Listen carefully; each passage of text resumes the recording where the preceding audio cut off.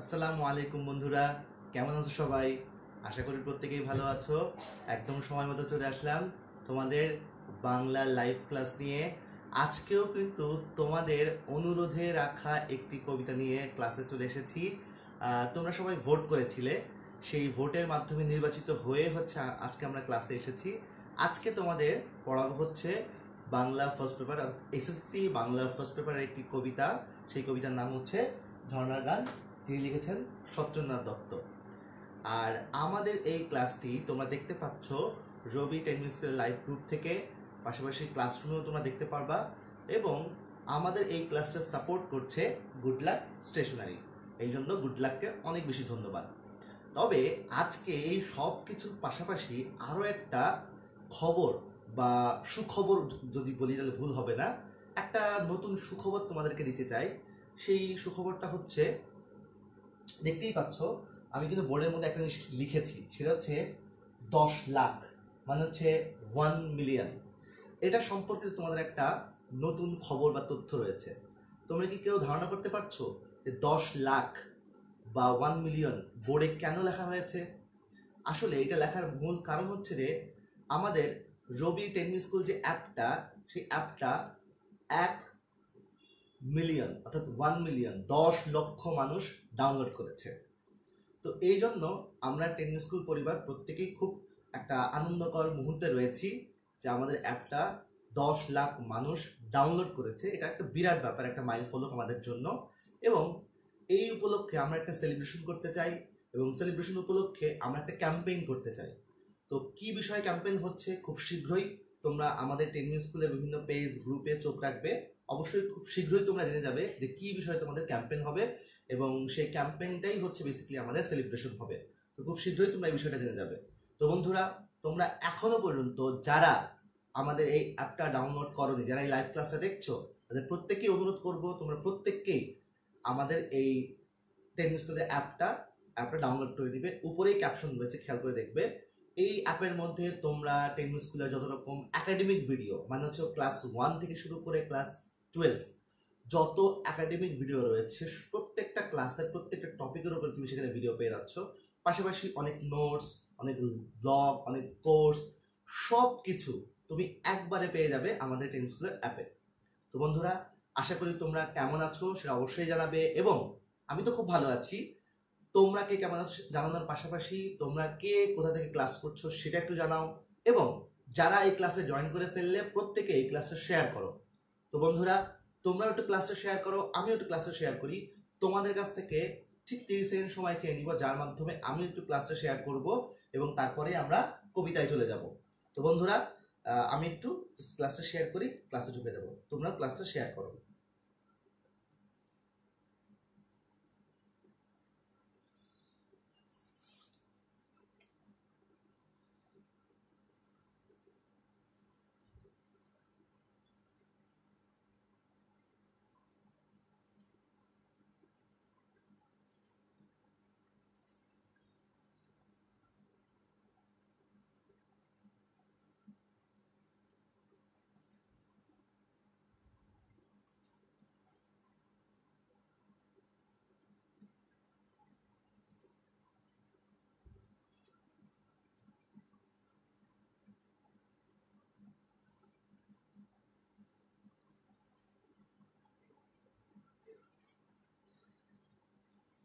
আচ্ছা আমি কিন্তু ক্লাসটা শেয়ার করে দিয়েছি। বন্ধুরা, তোমরা কারা কারা ক্লাসটা শেয়ার করছ প্লিজ সেটা কিন্তু জানাতে একদমই ভুলবে না। আমাদের এখানে অনেকেই অলরেডি কমেন্ট করে ফেলেছে। প্রথম যে কমেন্ট করেছ, তার কমেন্ট আমি একটু পড়তে চাই। সবার সর্বপ্রথম যে কমেন্ট করেছ, সে সালাম দিয়েছ রেহান আজিম।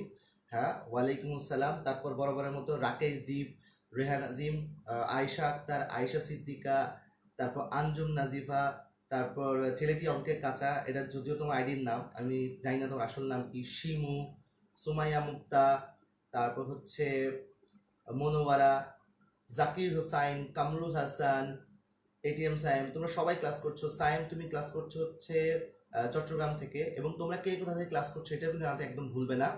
আর তোমাদের যেটা বললাম সেটা হচ্ছে যে আমাদের কিন্তু দশ লাখ মানে ওয়ান মিলিয়ন ডাউনলোড হয়েছে আমাদের টেন স্কুল অ্যাপ উপরেই কিন্তু আমাদের ক্যাপশনে লিঙ্ক দেওয়া রয়েছে। তোমরা প্রত্যেকেই যারা এখনও পর্যন্ত নামাওনি তারা প্রত্যেকে নামিয়ে ফেলো। আর আমাদের ক্লাসটাও কিন্তু তোমরা শেয়ার করতে একদমই ভুলো না। আমরা খুব দ্রুতই হচ্ছে ক্লাসে চলে যাব। তোমরা সবাই কমেন্ট করছ। যারা যারা কমেন্ট করছ, তারা হচ্ছে রাকিব, রাবেয়া, সিটি থেকে তুমি ক্লাস করছ। মানে হচ্ছে চট্টগ্রাম থেকে তুমি ক্লাস করছ নুনহাল লাকি সবাই সালাম দিচ্ছ। প্রত্যেকে বলি ওয়ালাইকুম আসসালাম। সৌরদীপ চক্রবর্তী, তুমি হাই জানিয়েছো। কমলসন বলছো শেয়ার ডান ওকে নুনহাল লাকি বলছো শেয়ার ডান সুমায়া মুক্তাও শেয়ার ডান আচ্ছা ওকে কামরুল হাসান, তুমি ক্লাস করছ ঢাকা থেকে? ওকে আচ্ছা। তাহলে অনেকে কিন্তু ক্লাসে আমাদের যোগদান করে ফেলেছে। আমরা কিন্তু এখন ক্লাসটা শুরু করে দিব। অর্থাৎ কবিতাটা পড়ানো শুরু করব। আজকের কবিতাটা খুবই মজার একটি কবিতা। সত্যেন্দ্রনাথ এই কবিতাটা লিখেছেন আসলে একটু অন্যরকম করে। কবিতাটা প্রথমত কেন একটু অন্যরকম, সেটা আগে তোমাদের সাথে আলোচনা করব। যে কেন আজকের কবিতাটা আসলেই অন্যরকম। সাধারণত আমরা যখন কোনো কবিতা লিখি, যেমন এর আগে কিছুদিন আগে আমরা একটা কবিতা পড়েছিলাম। এই দু- একদিন আগেই সেটা হচ্ছে, সেই দিন এই মাঠ।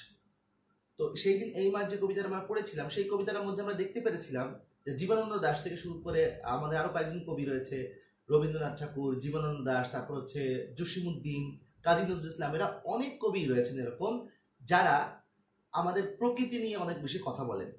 প্রকৃতি প্রকৃতি নির্ভর কথাবার্তা হয়। আজকের এই কবিতায় সেখানেও কিন্তু প্রকৃতি নিয়ে কথা বলা হয়েছে, অর্থাৎ ঝর্ণাকে নিয়ে কথা বলা হয়েছে।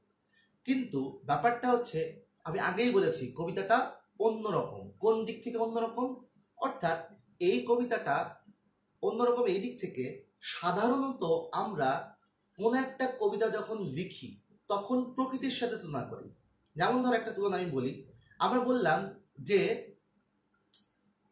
ধরো কোনো একটা বিয়ে বাড়িতে যাওয়া হয়েছে বিয়ে বাড়িতে যে আমরা মেয়ে দেখতে গিয়েছি, তো মেয়ে দেখতে গিয়ে সাধারণত কি হয়? মেয়েকে দেখে আসি। মেয়ে তো দেখতে খুবই সুন্দর। খুবই সুন্দর হওয়ার কারণে আমরা বাড়িতে ফিরে এসে বলি বাড়ির লোকেরা জিজ্ঞেস করে, কিরে, মেয়ে দেখতে কেমন? আমরা বলি হ্যাঁ মেয়ে তো খুব অসাধারণ, সুন্দর, চাঁদের মতো দেখতে। এই যে দেখো বললাম, মেয়েটি দেখতে চাঁদের মতো। একটু খেয়াল করে দেখো তো, আমরা মেয়েটিকে তুলনা করলাম কার সাথে? ওই চাঁদের সাথে, অর্থাৎ প্রকৃতির সাথে। তার মানে আমরা মানুষেরা সবসময় তুলনা করি প্রকৃতির সাথে। কিন্তু এখানে ঘটনা ঘটেছে উল্টো। প্রকৃতি তুলনা করেছে মানুষের সাথে। অর্থাৎ একটা প্রকৃতি, সে সব জায়গায়, প্রত্যেকটা জায়গায়, প্রত্যেকটা লাইনে লাইন তোমরা দেখতে পারবে যে প্রকৃতি তুলনা করছে মানুষের সাথে, মানুষের কর্মকাণ্ডের সাথে। মানুষ যেরকম করে সেরকম ভাবে এই প্রকাশভঙ্গিটা হয়েছে। অর্থাৎ আজকের কবিতাটা উল্টো কবিতা। মানে এতদিন ধরে আমরা যে সকল কবিতা পড়ে আসছি, সে সকল কবিতা হচ্ছে কবিতাগুলো প্রকৃতির সাথে তুলনা করা হতো। আর আজকের কবিতা কি হবে? প্রকৃতি মানুষের সাথে তুলনা করবে। এটা হচ্ছে এই কবিতার আসল মজা বা ক্লাইম্যাক্স যাই বলি না কেন, সবকিছু এর মধ্যে। তো বন্ধুরা, আমরা আজকে দেখার চেষ্টা করব যে কীভাবে এই জিনিসটা খুব সুন্দর সুন্দরভাবে আমাদের কবি ফুটিয়ে তুলেছেন। তো চলো আমরা আস্তে আস্তে যাই।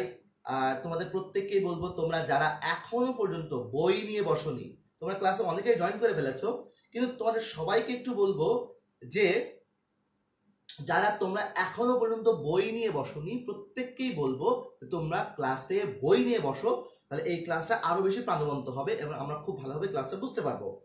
তো বন্ধুরা, চলো আমরা ক্লাসটা বোঝা শুরু করে দিই। প্রথমে জিনিসটা বলা হচ্ছে, সেটা হচ্ছে যে আচ্ছা অনেকে এখন প্রশ্ন করছে ওয়ান মিলিয়ন কি? আচ্ছা ওয়ান মিলিয়ন সম্পর্কে কথা বলে আমি একটু ক্লাসে একদম চলে যাব, আর একটু দেরি করব না। প্লাবন তালুকে তুমি আমাকে এই প্রশ্নটা করেছ। আচ্ছা ওয়ান মিলিয়নটা হচ্ছে আমাদের মিনিটস যে অ্যাপটা সেই অ্যাপটা ওয়ান মিলিয়ন বা দশ লাখ বার ডাউনলোড করা হয়েছে। এটা একটা বিরাট সুখবর আমাদের জন্য, আমাদের পরিবারের জন্য। তো এই সেলিব্রেশনে আমরা একটা ক্যাম্পেইন করতে যাচ্ছি। তো কি সম্পর্কে ক্যাম্পেইন হচ্ছে, এটা খুব শীঘ্রই তোমাদেরকে জানিয়ে দেওয়া হবে। তোমাদের টেন স্কুলের যে অ্যাপ বা সেই তাদের সেলিব্রেশন মানে অ্যাপ যে এক লাখ বার ডাউন দুঃখিত, দশ লাখ বার ডাউনলোড হলো, তার সম্পর্কিত একটা ক্যাম্পেইন হবে। তো কি ধরনের ক্যাম্পেইন সেটা অবশ্যই আমরা খুব শীঘ্রই জানিয়ে দেবো। আমাদের অন্যান্য পেজ বা ইউটিউব চ্যানেল যে কোনো জায়গায় তোমরা চোখ রাখতে পারো, আমরা খুব শীঘ্রই জিনিসটা জানিয়ে দিচ্ছি। আর তোমাদের আরও একটা খবর জানাই এই সুযোগে, আমাদের কিন্তু নতুন একটা পেজ যুক্ত হয়েছে, এটা হচ্ছে টেন স্কুল ক্লাসরুম তোমরা যারা যারা এখনও পর্যন্ত যে এই গ্রুপটাতে বা এই পেজে যারা এখনও পর্যন্ত জয়েন করনি প্লিজ সবাই একটু জয়েন করো। তার কারণটা হচ্ছে, আমাদের এই টেন স্কুলের ক্লাসরুমে স্টুডেন্টদের অনেক বেশি প্রাধান্য দেওয়া হয়। অর্থাৎ সেখানে তোমরা তোমাদের যত রকম প্রশ্ন রয়েছে, যত সাহায্য বা প্রশ্ন যা কিছু, সব কিছু তোমরা এখানে পেয়ে যাবে। কারণ আমাদের টিচাররা সার্বক্ষণিকভাবে ওখানে থাকেন। তুমি প্রশ্ন করে রাখলে বা তোমার যে কোনো সমস্যা দেখালে অবশ্যই সেই ট্রেনিং স্কুলের গ্রুপে সেই ক্লাসরুম গ্রুপটাতে যেয়ে আমরা তোমার সমাধান দেওয়ার চেষ্টা করব। অতএব, যদি তুমি মনে করো যে তোমার পাশে কেউ নেই, অবশ্যই এই ক্লাসরুমের গ্রুপটা রয়েছে, পুরো ট্রেনিং স্কুল পরিবার রয়েছে। তো ঠিক আছে বন্ধুরা, চলো আমরা ক্লাসটা শুরু করে দেই। তো আমরা প্রথমেই যে জিনিসটা পড়ব সেটা হচ্ছে যে একদম শুরু থেকে লাইন বাই লাইন যাব, একদম লাইন টু লাইন প্রত্যেকে একটু সবাই খাতা কলম নিয়ে বসে পড়ো, এটা খুব জরুরি, কারণ প্রচুর শব্দার্থ বলে দিব। সেগুলো জানা লাগবে এবং পাশাপাশি আরও যেসব অর্থগুলো বলে দিব, সেগুলো তোমাদের পারাটা অনেক বেশি জরুরি। আচ্ছা একজন বলছে, আশফাক বলছে সেলিব্রেশন মানে কি পার্টি জানি না ক্যাম্পেইন হবে। এখন ক্যাম্পেইনটা কি বিষয় হচ্ছে, খুব শীঘ্রই তোমাদের জানানো হবে। তো আশা করি আমি তোমাদের অনেক ভুল তথ্য না দেওয়ার চাইতে আমরা সবাই ওয়েট করি যে আমরা কি সম্পর্কে ক্যাম্পেইন হবে, আমরা খুব শীঘ্রই এটা জানতে পারব। ওকে আমরা এখন সরাসরি ক্লাসে চলে যাব। প্রথম লাইনটা বলা হচ্ছে, আমি আগেই বলেছি সেই কথাটা আবার বলে নিই সাধারণত মানুষেরা যখন কোনো কবিতা লেখে, সেই কবিতাটা হচ্ছে কাকে ডেলিকেট করে? প্রকৃতির মানে প্রকৃতিকে হচ্ছে তোমাকে উৎসর্গ করে অনেক সময় অনেক কবিতা কবিতা লেখা হয় বা প্রকৃতিকে অনুসরণ করে লেখা হয়। আর আজকের কবিতায় প্রকৃতি মানুষকে অনুসরণ করেছে। একটু উল্টো। কি হবে? প্রথম লাইনটাই বলছে, চপল পায় কেবল ধায়। আচ্ছা চপল, এই চপল শব্দটার মানে কি? চপল শব্দটার মানে কি তোমরা জানো? আচ্ছা যদি না জেনে থাকো, আমি লিখে দিচ্ছি। দেখো, চপল। চপল শব্দের মানে হচ্ছে চঞ্চল। চঞ্চল। চপল শব্দের মানে কি? চঞ্চল। আচ্ছা তো চপল পায়। পা তোমাদের বুঝছ? চঞ্চল পায়ে কেবল ধাই। আচ্ছা ধাই শব্দের মানে কি একটু লিখে দিই।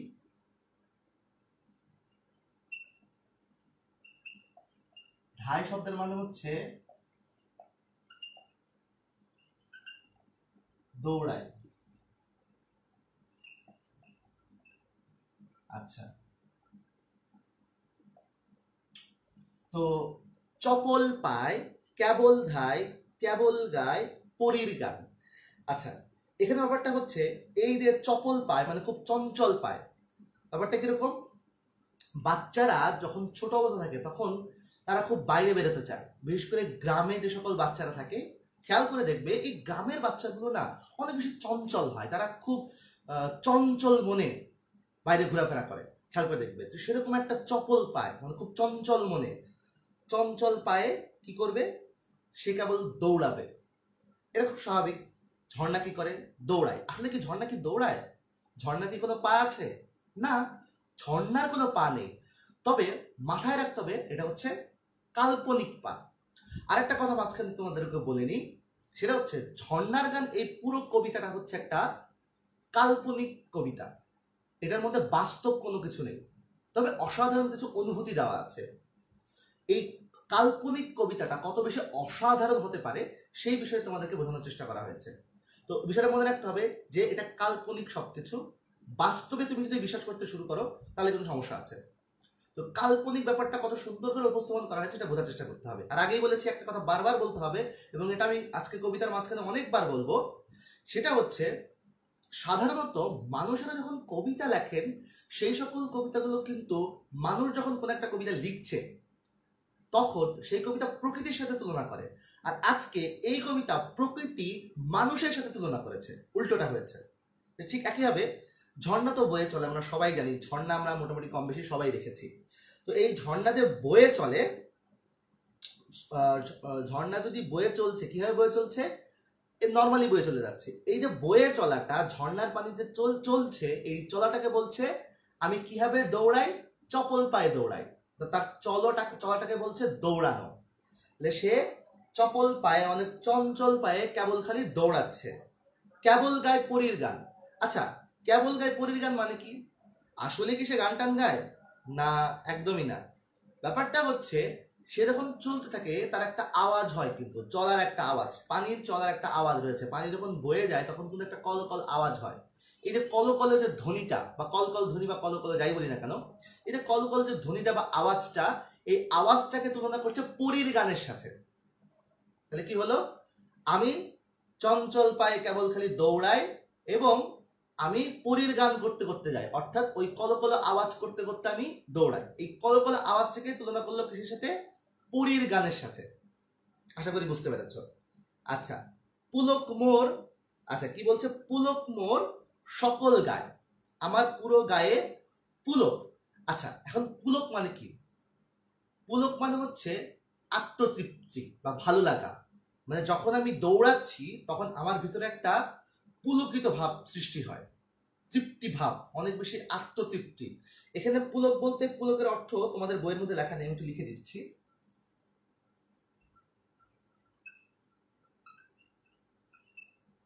পুলক। পুলক শব্দের মানে হচ্ছে এখানে বোঝাবে তৃপ্তি বোধ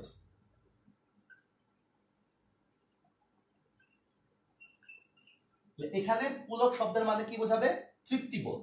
আশা করি তোমরা বুঝতে পেরেছ। এবার চলো, তাহলে পুলক মোর সকল গায় বিভোল মোর সকল প্রাণ। আমার পুরো প্রাণটাই বিহল হয়ে যায় মানে অচেতন হয়ে যায়। আমি একটু বিহল শব্দ অর্থ লিখে দিচ্ছি বিহল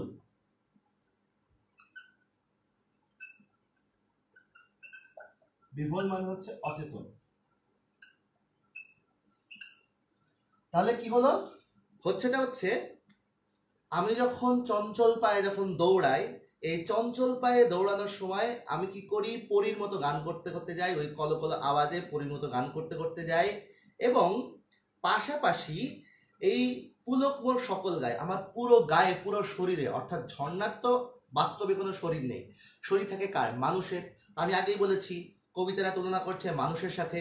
তো এই যে মানুষের সাথে তুলনা করছে, এই মানুষের সাথে তুলনা করার জন্য জিনিসটা হচ্ছে সেটা হচ্ছে পুলক মোর সকল গায়ে, তার পুরো গায়ে একটা তৃপ্তিবোধ, আত্মতৃপ্তি, ভালো লাগা কাজ করছে এবং তার পুরো প্রাণটাই বিভল হয়ে গিয়েছে মানে অচেতন হয়ে গিয়েছে।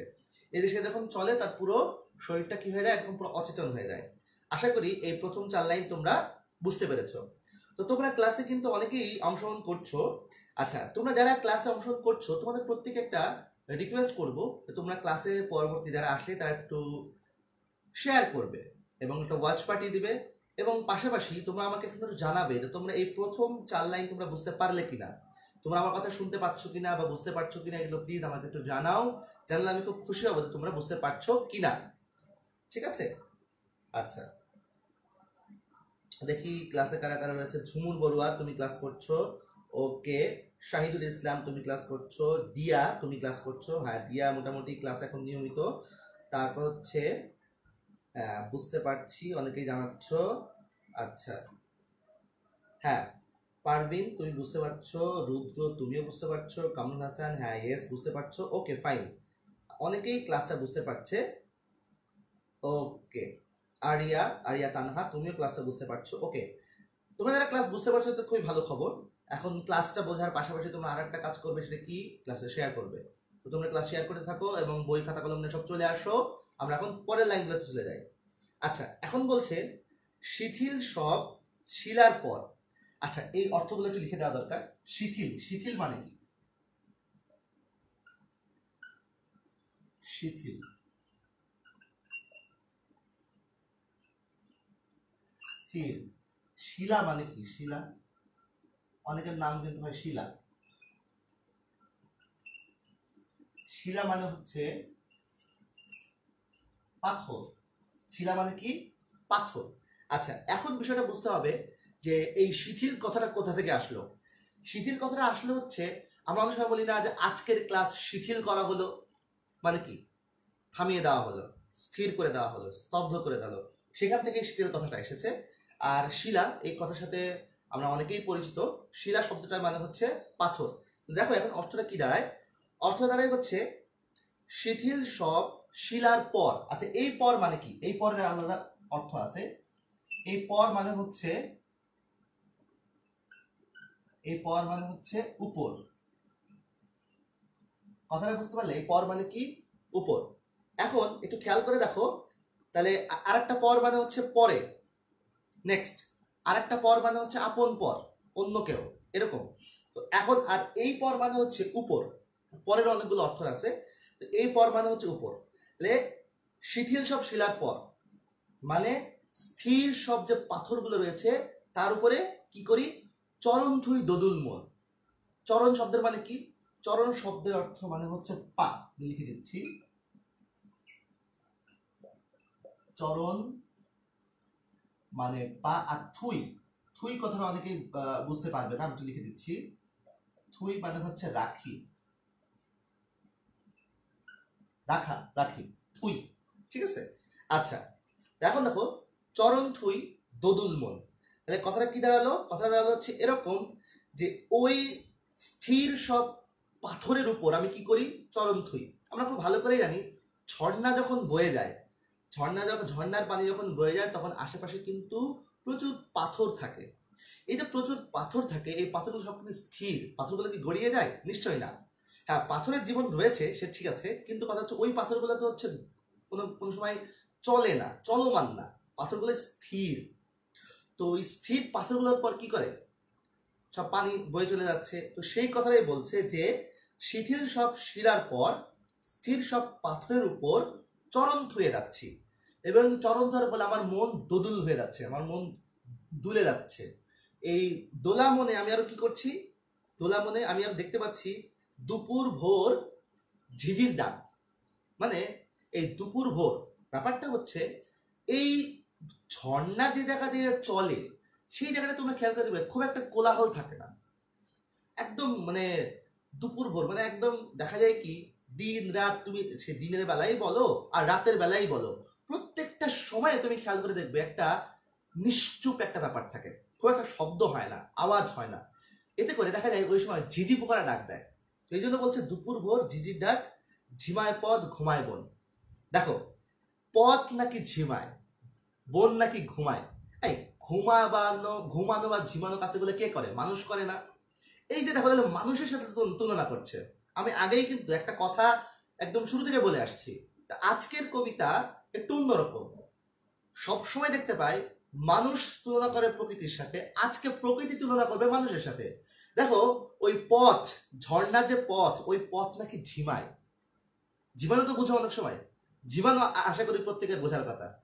যদি জীবাণু না বুঝে থাকো, আমি একটু দেখাই দিচ্ছি অ্যাক্টিং করে। মনে করো তোমার প্রচণ্ড সারা তুমি ঘুমাওনি হ্যাঁ? না ঘুমানোর ফলে তোমার একটু ঘুম ঘুম ভাব হচ্ছে। ওই সময় কি করি? এরকম করি না এইটাকে বলে ঝিমানো। আশা করি তোমরা বুঝতে পেরেছ ঝিমানো কাকে বলে। ঠিক আছে? আচ্ছা তো এখন এই ঝিমায় পথ, ঘুমায় মন। ঘুম তো মানে বুঝছ তো? একদম ঘুম। আচ্ছা তো এখন এই ওই পথগুলো সব নাকি ঘুমিয়ে যায়, নিশ্চুপ থাকে। এই যে ঝর্ণা যে জায়গায় বয়ে যায় যেখান দিয়ে বয়ে যাচ্ছে সেখানকার যে পরিস্থিতি, এই পরিস্থিতিটা খুব সুন্দর করে এখানে বর্ণনা করা হয়েছে। আচ্ছা এরপর কি বলছে? বিজন দেশ। আচ্ছা বিজন শব্দের মানে কি? আমি একটু লিখে দিই। বিজন। বিজন শব্দের মানে হচ্ছে জনশূন্য। আচ্ছা কুজন। কুজন মানে কি জানো? এই কথাটা মানে? আচ্ছা কুজন মানে যদি কেউ না জানো লিখে দিচ্ছি। খেয়াল করে দেখো। কুজন কুজন। হ্যাঁ কুজন এখানে আছে। কুজন শব্দের মানে হচ্ছে পাখির ডাক আচ্ছা। এই, এখন দেখো, তাহলে কি হচ্ছে? বিজন দেশ কুজন নাই, নিজের পায় বাজায় তাল, একলা গায় একলা ধায়। আচ্ছা ধায় মানে কি তোর বলেছি? তার মানে বিজন দেশ, ঝর্ণায় যেখান দিয়ে বয়ে যায়, সেখানে কোনো মানুষ নেই, জনশূন্য একদম। তারপর কোনো কুজন নাই পাখির ডাক মানে কুজন মানে হচ্ছে পাখির ডাক। পাখির ডাক খুব একটা পাওয়া যায় না। হালকা হালকা পাওয়া যায়, খুব একটা সেখানে পাওয়া যায় না। মানে খুব কিচিরমিচির ব্যাপারটা। কিন্তু কুজন বলতে আমি কি বুঝিয়েছি একটু ভালো করে বুঝি। সেটা হচ্ছে, পাখিরা তো অবশ্যই ডাকে সেখানে ঝর্ণার মধ্যে। কিন্তু কুজন বলতে এক্স্যাক্টলি জিনিসটা বুঝিয়েছে, পাখির ডাক যে একেবারে নেই তা না। কিন্তু বুঝতে হবে, পাখিরা যখন সন্ধ্যাবেলায় তার নিড়ে ফিরে যায়, গাছের মধ্যে যে পাখি, পাখির বাসা থাকে, সেই পাখির বাসায় যখন নিড়ে ফিরে যাচ্ছে খেয়াল করতে তখন অনেক কিচিরমিচির কিচিরমিচির কিচিরমিচির করে।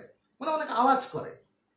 এই যে পাখিদের যে আওয়াজ, কিচিরমিচির কিচিরমিচির করে, এই কিচিরমিচিরটা মানে এরকম অনেক আওয়াজ, কোলাহল নাই, এক কথায়।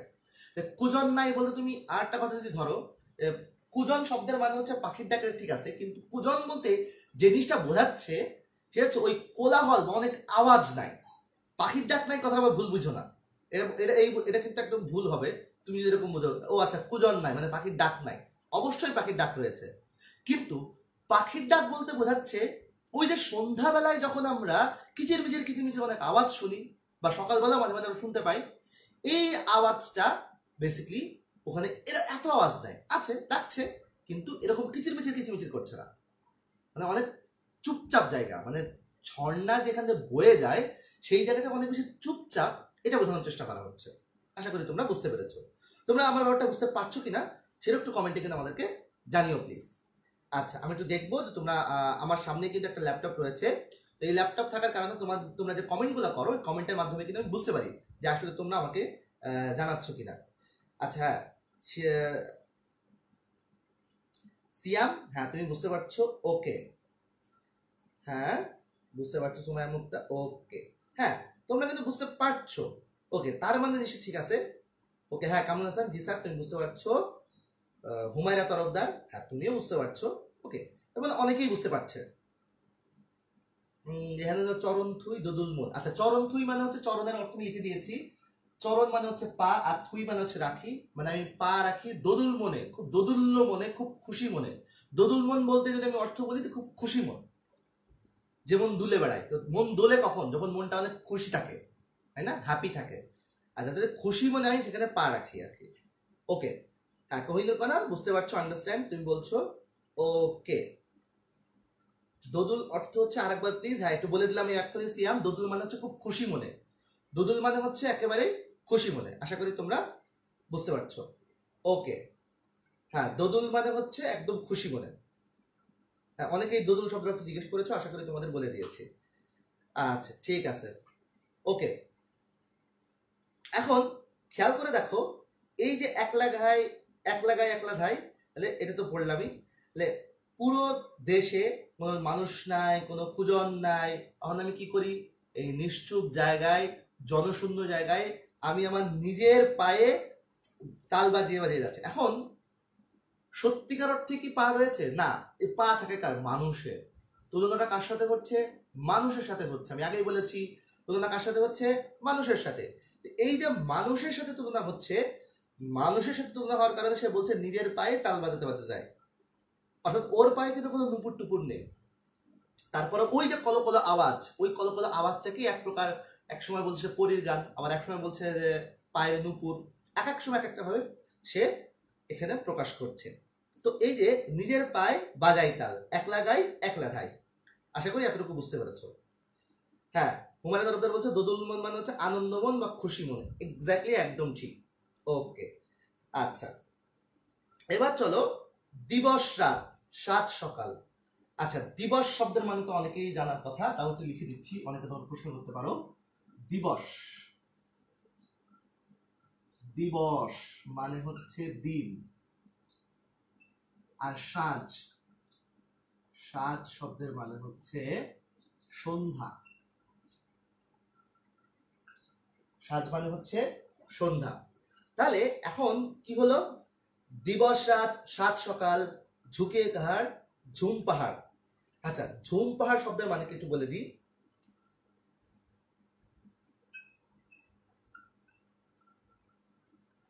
ঝুম পাহাড়, এই শব্দটার মানে হচ্ছে নীরব পাহাড় বা নির্জন পাহাড়। নির্জন পাহাড়। আচ্ছা এখন এই লাইনটার মানে একটু খুব সময় নিয়ে তোমাদের বুঝতে হবে। দিবস রাত, সাত সকাল, ঝুঁকিয়ে ঘাড়, ঝুম পাহাড়, ভয় দেখায়, চোখ পাকায়, শঙ্কা নাই সমান যায়। এই লাইনটার মানে খুব ভালো করে বোঝাবো, তার আগে শঙ্কা অর্থটা একটু লিখে দিই। শঙ্কা।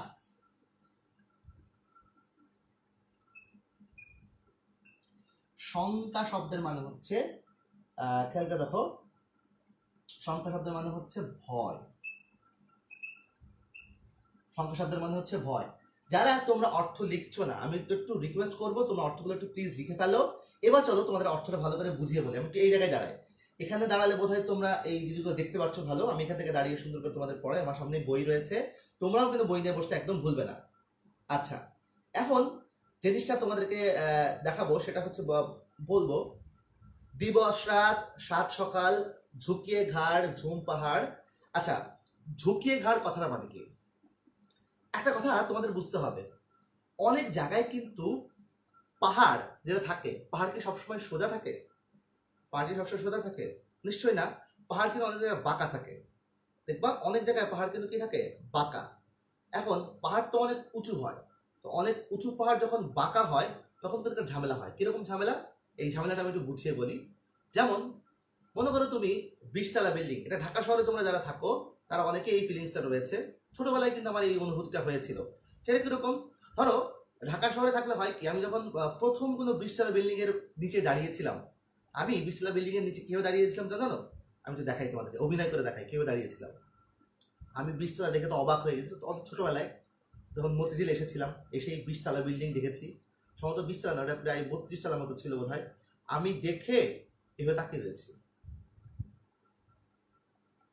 তাকাই রয়েছি, গুনতেছি। তালা কত বড় গুনতেছি এখন ব্যাপারটা হচ্ছে, ওই সময় একটা অনুভূতি আমার হয়েছিল। অনুভূতিটা তোমাদেরকে বলি। সেটা হচ্ছে যে, এই যখন আমি উপরের দিকে তাকিয়েছিলাম, তখন কিছুক্ষণ তাকানোর পর আমার মনে হলো, মনে হয় বিল্ডিংটা আস্তে আস্তে একটু একটু করে আমার উপর ধেয়ে আসছে। পড়ে যাবে এখন, আমার এরকম মনে হয়েছিল। আমি একটু ভয় পেয়েছিলাম।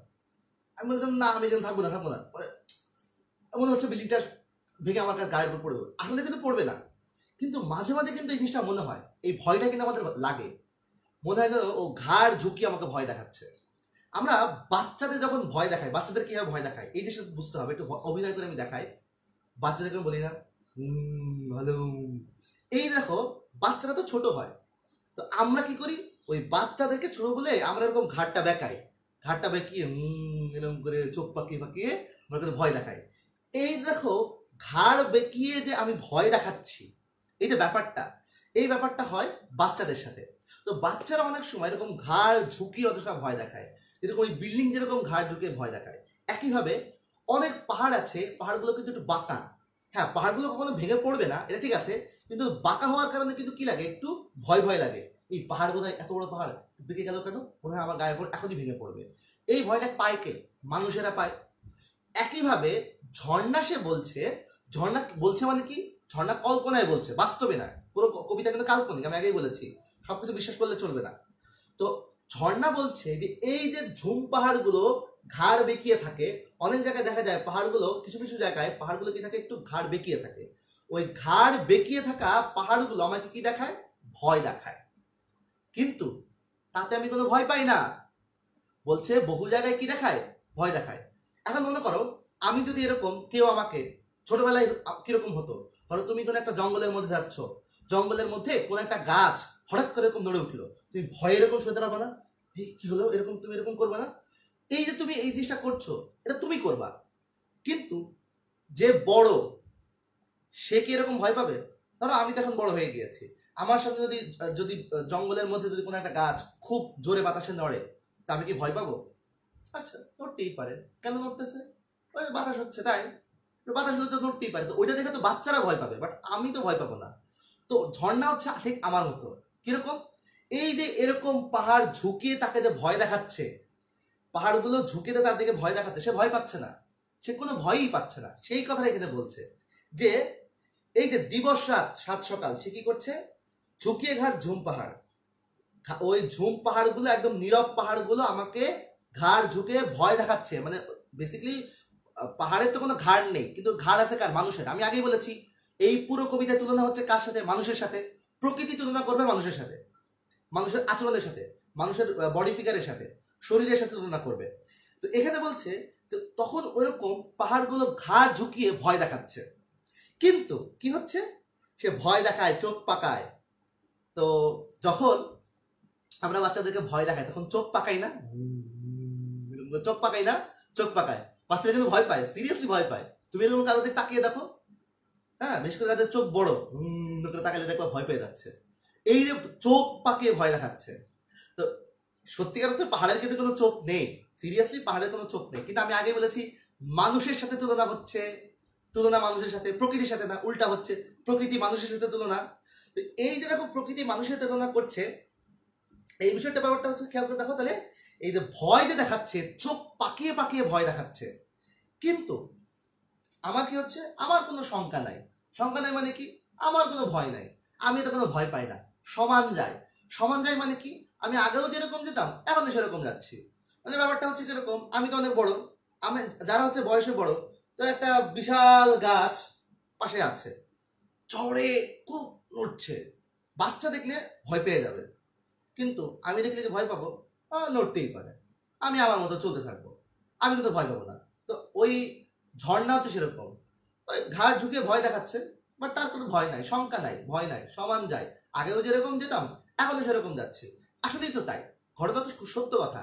ওই যে জায়গায় এরকম পাহাড়গুলো একটু ঝুঁকে থাকে, সেই জায়গাগুলো কি ঝর্ণার পানি কি থেমে যায়? না। ঝর্ণার পানি যেরকম বয়ে চলে, সেরকম বয়ে চলে যাচ্ছে। ঝর্ণা কখনো, ঝর্ণার পানি কখনো ভয় পাচ্ছে না। আশা করি এই যে দীর্ঘ একটা আলোচনা মানে আমি চারটা লাইন বোঝাতে গিয়ে অনেকগুলো কথা ব্যয় করেছি, কারণ একটু কঠিন লাইন ছিল এটা তো এটা তোমরা বুঝতে পারছ কিনা? প্লিজ একটু জানাবে। আমি এতক্ষণ ধরে প্রায় দশ থেকে দশ মিনিট ধরে জিনিসটা এই চারটা লাইন বোঝালাম। এটা তোমরা বুঝতে পেরেছ কিনা? প্লিজ আমাকে জানাবে।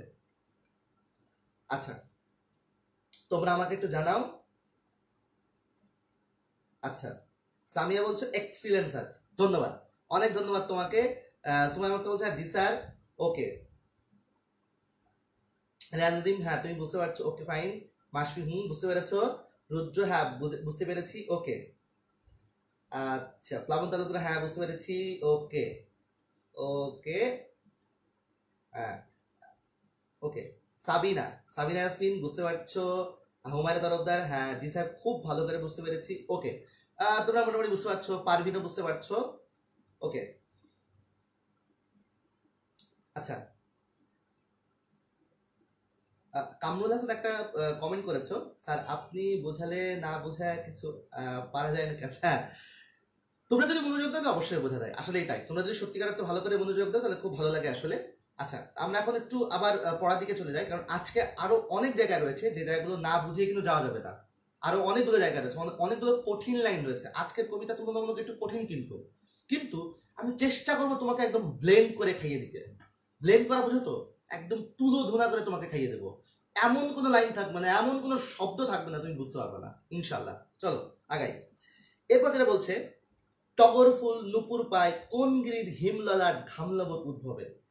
আচ্ছা তো নাই সমান যায় টগর ফুল নুপুর পায়। এবং ওই দেখবা, যে জায়গাতে ঝর্ণা বয়ে যায়, ঝর্ণা বয়ে যাওয়ার আশেপাশে কিন্তু অনেক ফুল টুল থাকে, অনেক টগর ফুল থাকে। ওই টগর ফুলগুলাকে বলছে ওর পায়ের নুপুর। এখন এই যে পায়ের নুপুরটা, খেয়াল করে দেখো, পায়ের নুপুর পরে কে? প্রকৃতি কোনোদিন পায়ের নুপুর পরে। ঝর্ণাকে ঝর্ণা কি, পা আছে না কি, নুপুর পড়বে কিন্তু ওই যে প্রথম একটা কথা, যে কথাটা আমি অনেকবার বলব, সেটা হচ্ছে এই কবিতায় মানুষের সাথে তুলনা করেছে কি? মানুষের সাথে তুলনা করেছে কি কোনটা? প্রকৃতি। প্রকৃতি বলছে প্রকৃতির একটা কাল্পনিক পায়ে তার দুপুর পড়েছে। তার দুপুরটা কিসের সাথে তুলনা করছে? ওই যে টগর ফুলগুলাকে। ওই টগর ফুলগুলাই হচ্ছে ঝর্ণার পায়ের নুপুর। ওই টগর ফুলগুলা কি? ঝর্ণার পায়ে নুপুর। বুঝতে পেরেছ? এইভাবে হচ্ছে কবি এখানে তুলনা করেছে। আচ্ছা এরপর দেখো তারপর যে কথাটা বলতেছে সেটা হচ্ছে যে, কোন গিরির হিমললার খামলবর উদ্ভবে কোন পরীর টুটলো হাট কোন নাচের উৎসবে? দুর্দান্ত লাইন চলো বুঝতে পারেনি অনেকেই কিন্তু আমি বুঝিয়ে দিচ্ছি। ব্যাপারটা হচ্ছে, খেয়াল করে দেখো যে এই যে কোন গিরির হিমললার খামলবর উদ্ভবে এই লাইনটা বোঝাতে গিয়ে আগে একটা সুন্দর করে একটা কাহিনী বলতে হবে। সেটা হচ্ছে, তোমরা কি কেউ জানো? এটা তোমাদের কোনো জানা আছে কিনা? যদি যদি জানা থাকে প্লিজ আমাকে একটু জানাও। যে ঝর্ণার পানির উৎপত্তি থেকে হয়? তোমরা কি কেউ জানো? না জানলে প্লিজ একটু কমেন্ট করে জানাও। তোমরা জানো কিনা ব্যাপারটা? আশা করি তোমরা এই বিষয়ে তোমরা অনেকেই জানো না। যদি তোমরা না জেনে থাকো, তাহলে চলো তোমাদেরকে আমি উত্তরটা দিয়ে ফেলি। উত্তরটা হচ্ছে এরকম, আসলে এই ঝর্ণার পানির উৎস হচ্ছে, বৃষ্টি তো রয়েছে, অবশ্যই বৃষ্টি রয়েছে, অনেকেই তোমরা উত্তর দিবাচ্ছ বৃষ্টি। কিন্তু বৃষ্টি বাদ দিয়েও ঝর্ণার পানির যে আসল যে উৎস, সেটা হচ্ছে ওই পর্বতমালা, হিমগিরি। এই হিমগিরি বলতে হিমললাট হিমললাট বলতে কাকে বোঝাচ্ছে? পর্বতমালাকে বোঝাচ্ছে। অর্থাৎ এই আমাদের বাংলাদেশের কথাটাই বলি আমাদের বাংলাদেশের যে নদীগুলো রয়েছে, আমাদের বাংলাদেশের নদীগুলো, সেই নদীগুলোর ম্যাক্সিমাম পানি আসে হচ্ছে এভারেস্ট থেকে, হিমালয় পর্বত থেকে। এই হিমালয় পর্বত সেখানে হচ্ছে সবসময় শীতকালে, শীতকালীন সময় সেখানে প্রচুর পরিমাণ বরফ জমা হয় এবং পরবর্তীতে আস্তে আস্তে সেখানে প্রতিনিয়ত যেরকম বরফ জমা হচ্ছে এবং প্রতিনিয়ত কিন্তু অনেক বরফ গলেও যাচ্ছে। হিমালয় পর্বতের বরফ গলে যাচ্ছে না। ওই পর্বতের বর- বরফ গলে গলে গলে গলে গলে গলে কি হচ্ছে? একটা পর্যায়ে ওই বরফের পানি ভারত হয়ে আমাদের বাংলাদেশে ঢুকছে। তো আমাদের বাংলাদেশে ঢুকে বিভিন্ন নদ নদীতে বয়ে বয়ে আস্তে সাগরে যাচ্ছে। নদী সবসময় পানি দেয় কাকে? নদী পানি দেয় হচ্ছে সাগরকে। কারণ তোমরা অনেকেই বলতে পারো, কি বলেন ভাইয়া? সাগর পানি দেয়, সাগর না নদীকে পানি দেয়? নদী কি আবার সাগরকে পানি দেয়। এই প্রশ্ন তোমরা অনেকেই করতে পারো, অনেকের না জানা থাকতেই পারে। তার উত্তরটা আমি দিয়ে দিচ্ছি। বিষয়টা হচ্ছে এরকম, খেয়াল করে দেখবা যে নদী সবসময় সাগরকে পানি দেয়। সাগর কখনো নদীকে পানি দিতে পারে না। কেন পানি দিতে পারে না? পারে না এই কারণে একবার একটু চিন্তা করো তো। সাগর যদি নদীকে পানি দেয়, সাগর থেকে যদি পানি আসা শুরু হয়, সেটা কি হয়? সেটা সিডোর হয়। তাই না? জলোচ্ছ্বাস হবে। তো বেসিক্যালি সাগর যদি উল্টে চলে আসে, তখন তো আমাদের আবার ভরাডুবি হয়ে যাবে। ওই বিশেষ করে বরিশাল অঞ্চল কুয়াকাটা, পটুয়াখালী, পিরোজপুর, এইসব এলাকা, কক্সবাজার তো সব ডুবে যাবে। তাই না? তো ওইসব এলাকা তো ডুবে গেলে তো একটা মহা সমস্যা হয়ে যাবে। তো বেসিক্যালি কখনোই সমুদ্র থেকে পানি আসে না। সমুদ্রের পানিতে লোনা মানে নোনা পানি থাকে। নোনা পানি। লবণাক্ত পানি থাকে। তো লবণাক্ত পানি তো আমরা খাই না। আমরা তো ইয়ার পানি, কি বলে? নদীর পানি কি কখনো লবণাক্ত থাকে? না। সেগুলো তো মিঠা পানি। তো ওই বেসিক্যালি আমাদের মিঠা পানিগুলোই হচ্ছে সাগরে যায়। সাগরে যায় লবণাক্ত হয়ে যায়।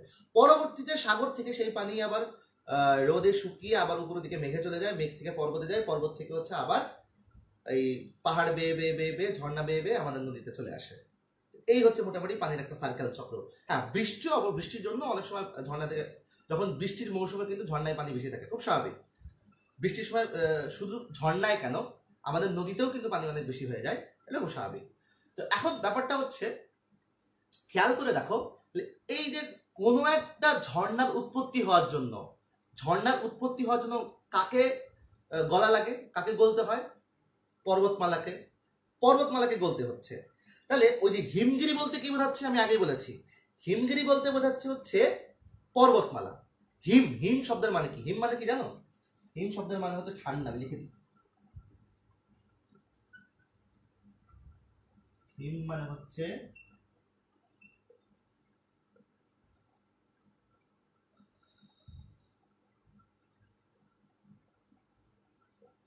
ঠান্ডা, হিম, হিমাগার, খুব ঠান্ডা জায়গা। আচ্ছা তো সেই কোনো একটা ঝর্ণার উৎপত্তি হওয়ার জন্য জিনিসটা প্রয়োজন, সেটা হচ্ছে যে কোনো একটা পর্বতমালাকে গলতে হয়। তাহলে এখন পর্বতমালা যে গলছে, এই গলার ব্যাপারটা মানুষের সাথে কীভাবে তুলনা করবে? দেখো, মানুষের সাথে তুলনা করার একটা খুব সুন্দর পদ্ধতি রয়েছে। আমরা মাঝে মাঝে কি হয়, ঘেমে যায় না তো ঘেমে গেলে আমাদের শরীরে ঘাম বয়ে যায়, আমাদের কপাল দিয়ে ঘাম বয়ে যায় না? হ্যাঁ আমাদের কপাল দিয়ে কিন্তু ঘাম বয়ে যায়? এই যে আমাদের কপাল দিয়ে ঘাম বয়ে যাচ্ছে, ঠিক একইভাবে ওই হিমালয়েরও সেখানে ললাট ললাট মানে কিছু লিখে দিই? ললাট মানে হচ্ছে কপাল। ললাট মানে হচ্ছে কপাল। আচ্ছা তো বলছে, ওই হিমালয় পর্বতের বা কোন একটা পর্বতের কি হয় দেয়? ললাট। যদিও তার ললাট নেই, কাল্পনিক। ললাট ঘামে। ললাট ঘেমে কিসের উদ্ভব হয়? ঝর্ণার উদ্ভব হয়। তো সেই কথাটাই বলছে যে, কোন গিরির হিম ললাট ঘামলমুর উদ্ভবে? অর্থাৎ ও ঘেমে যায়। ঘেমে যাওয়া বলতে কি বোঝাচ্ছে? আমরা যেরকম রোদে আমাদের কপাল দিয়ে কি করে ঘাম পড়ে না? পানি পড়ে। ঘাম ঘাম পানির মতো হয়ে পড়ে। একইভাবে ওই হিমালয়তেও অনেক রোদ হয়। রোদেও তো ওরা গলতে থাকে, তো ওদের রোদে গলে পানি পড়তে থাকে আর আমাদের ঘাম পড়ে তা যেহেতু তুলনা মানুষের সাথে হচ্ছে এই জন্য কথাটা বলেছে, ওই গলে গলে ঘামছে, গলা বলেনি, গলা না বলে বলছে ঘামছে, আশা করি বুঝতে পেরেছ। এবার বলছে যে কোন পরীর টুটলোহার আচ্ছা কি বলছে? টু সাইডেড সাইড দিবেন প্লিজ ওকে বুঝতে পারছি, অনেকেই তোমরা দেখতে পাচ্ছ না, তোমরা দেখে নাও। আমি একটু এই জায়গায় দাঁড়িয়ে পড়াই। তাহলে তোমরা শব্দের অর্থগুলো দেখতে পাবে। দুঃখিত, আমি এতক্ষণ বুঝতে পারিনি। কমেন্ট তোমরা কমেন্ট আমাকে এটা বিষয়টা বুঝিয়ে দিয়েছ। ধন্যবাদ তোমাদেরকে। আচ্ছা আমি একটু এইখান থেকে পড়ি। এখান থেকে বলে বলে তোমাদেরকে বুঝাই। সেটা হচ্ছে যে কোন পরীর টুটলো হার? তাহলে, কোন পরীর টুটলো হার? কোন নাচের উৎসবে? কোন পরীর টুটলো হার? টুটলো হার মানে হচ্ছে তার সৌন্দর্যকে হার মানিয়ে দিল। টুটলো হার মানে কি? কোন একটা পরীর সৌন্দর্যকে হার মানিয়ে দিচ্ছে কোন একটা নাচের উৎসবে। কোন নাচের উৎসবে? কোন একটা নাচের উৎসবে কোন একটা পরীর তো ধরো কোন একটা উৎসবে কোন একটা পরী নাচের উৎসব হচ্ছে, সেই নাচের উৎসবে পরীর যে সৌন্দর্য, সেই সৌন্দর্যকেও টুটিয়ে দিয়েছে। এখানে টুটলো বলতে এখানে কি বোঝাবে? টুটলোর এখানে শাব্দিক অর্থ করলে হবে না কিন্তু। টুটলোর শাব্দিক অর্থ করলে কিন্তু ভাঙা। টুটলো টুটলো মানে কি? ভাঙা। টুটলো শাব্দিক অর্থ করলে কিন্তু হবে না। এখানে টুটলোর অর্থ করতে হবে হচ্ছে, টুটলো বলতে এখানে তাকে সৌন্দর্যের দিক থেকে হারিয়ে দেওয়া বোঝাবে। আমি আবার বলছি, টুটলোর শাব্দিক অর্থ করলে কিন্তু হবে না। টুটলোর অর্থ এখানে বোঝাবে হচ্ছে হারিয়ে দেওয়া। তাকে সৌন্দর্যের দিক থেকে হারিয়ে দেওয়া। ঝর্ণার যে সৌন্দর্য, সেই সৌন্দর্যের কাছে, সেই সৌন্দর্যের কাছে হার মেনে যাচ্ছে কে? কোন একটা নাচের উৎসবের পরি। পরি তো দেখতে অনেক সুন্দর। কিন্তু ওই নাচের উৎসবের যে পরি, সেই পরির থেকেও অনেক বেশি সুন্দর দেখতে কে? ঝর্ণা। সে তার কাছে কি? হার বেঁধে যাচ্ছে। যদিও হার বেঁধে যাচ্ছে, কিন্তু এইসবে কি নাই? ঝর্ণার কোনো খেয়াল নাই? নাই রে ভাই। এদিকে- আমার কোনো খেয়াল নাই। পাইনি তার সংবাদই। আমি ওই পরিটরি সম্পর্কে কোনো সংবাদ পাই নাই। কার সৌন্দর্যের কাছে কে আমার সৌন্দর্যের কাছে হেরে যাচ্ছে? কোন একটা পরি, তার নাচের উৎসবের পরি আমার সৌন্দর্যের কাছে হেরে যাচ্ছে। সেদিকে আমার কোনো খেয়াল নাই। খেয়াল নাই, এদের সেই বলছে, খেয়াল নাই নাই রে ভাই, পাইনি তার সংবাদই। তার কোনো সংবাদ ওই পরির কোনো সংবাদ আমি পাই নাই। কারণ কি? সংবাদ না পাওয়াটাই স্বাভাবিক। আমি তো ঝর্ণা আমি নিজের মতো করে বয়ে চলে যাচ্ছি। ও সবসময় বয়েই চলে যায়। আচ্ছা ধাই লীলাই খিলখিলাই আচ্ছা লীলা শব্দের অর্থ একটু লিখতে হবে। তার আগে আমি এগুলো একটু মুছে ফেলি হ্যাঁ? তো তার আমি একটু বলব যে এই শব্দার্থগুলো খুবই ইম্পর্টেন্ট আমি আরও অনেকগুলো শব্দ বলব শব্দের অর্থ বলব। এখন সেই সকল শব্দের অর্থ আহ, তোমাদের বলার আগে এটা তোমরা অনেকেই তোমরা লিখে নাও। আমি দেখেছি তোমরা অনেকেই হচ্ছে নোট করো। তোমরা আমাদের ক্লাসের অধিকাংশ যারা রয়েছে, তারা ম্যাক্সিমামই নোট করো। নোট করে আমাদের গ্রুপে শেয়ার করো। আমাদের টেকনিক স্কুলের যে ক্লাসরুম যে গ্রুপটা নতুন গ্রুপ সেখানে তোমরা অনেকে শেয়ার করো। আমাদের লাইভ গ্রুপে শেয়ার করো। তোমাদের প্রত্যেককেই ধন্যবাদ তোমরা যারা নোট করো। অনেক অনেক মনের অন্তরস্থল থেকে অনেক বেশি ধন্যবাদ। তোমাদের মনোযোগ দিয়ে ক্লাসটা করো। তো যারা নোট করছ, তারা লিখে ফেলেছো। যারা এখনও নোট করতে পারোনি প্লিজ একটা স্ক্রিনশট প্লিজ স্ক্রিনশট দিয়ে রাখো, তাহলে পরে এতগুলো তুমি শব্দ অর্থ কখনোই মনে রাখতে পারবে না, তোমাকে এটা পড়তে হবে। তো প্লিজ আমি তোমাকে একটু বলব যে প্লিজ তুমি একটু কি করো, একটা স্ক্রিনশট দিয়ে নাও। হয়ে গেল স্ক্রিনশট দেওয়া থ্যাংক ইউ সবাইকে। এবার চলো আমি একটু মুছে ফেলি, মুছে ফেলে আবার শব্দার্থ নতুন করে কিছু শব্দার্থ লিখতে হবে।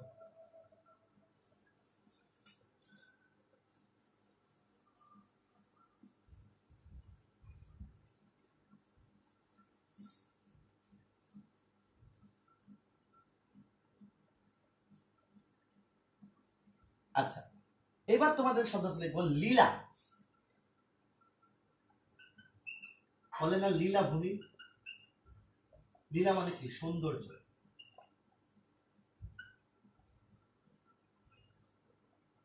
সৌন্দর্য। একটা গান আছে না? লীলা বালি লীলা বালি একটা গান আছে না? ওই গান। লীলা লীলা শব্দের মানে হচ্ছে সৌন্দর্য, হুমায়ুন আহমেদের গানটা। আচ্ছা এখন দেখো, আমি কি করি? ধাই লীলাই ধাই শব্দের অর্থ আমি আগে লিখেছি। ধাই মানে হচ্ছে দৌড়াই আমি আমি আমার সৌন্দর্য নিয়ে দৌড়াই। আমি কোনো দিকে কোনো সংবাদ রাখি না। আমি আমার নিজের সৌন্দর্য দৌড়াতে থাকি এবং খিলখিলায় আমি হাসি। খিলখিলানো বলতে কি বোঝায়? খিলখিলানো বলতে হচ্ছে হাসি বোঝায়। আচ্ছা আমি লিখে দিই, না অনেকে প্রশ্ন করবা। খিলখিল। খিলখিল বলতে কি বোঝাচ্ছে?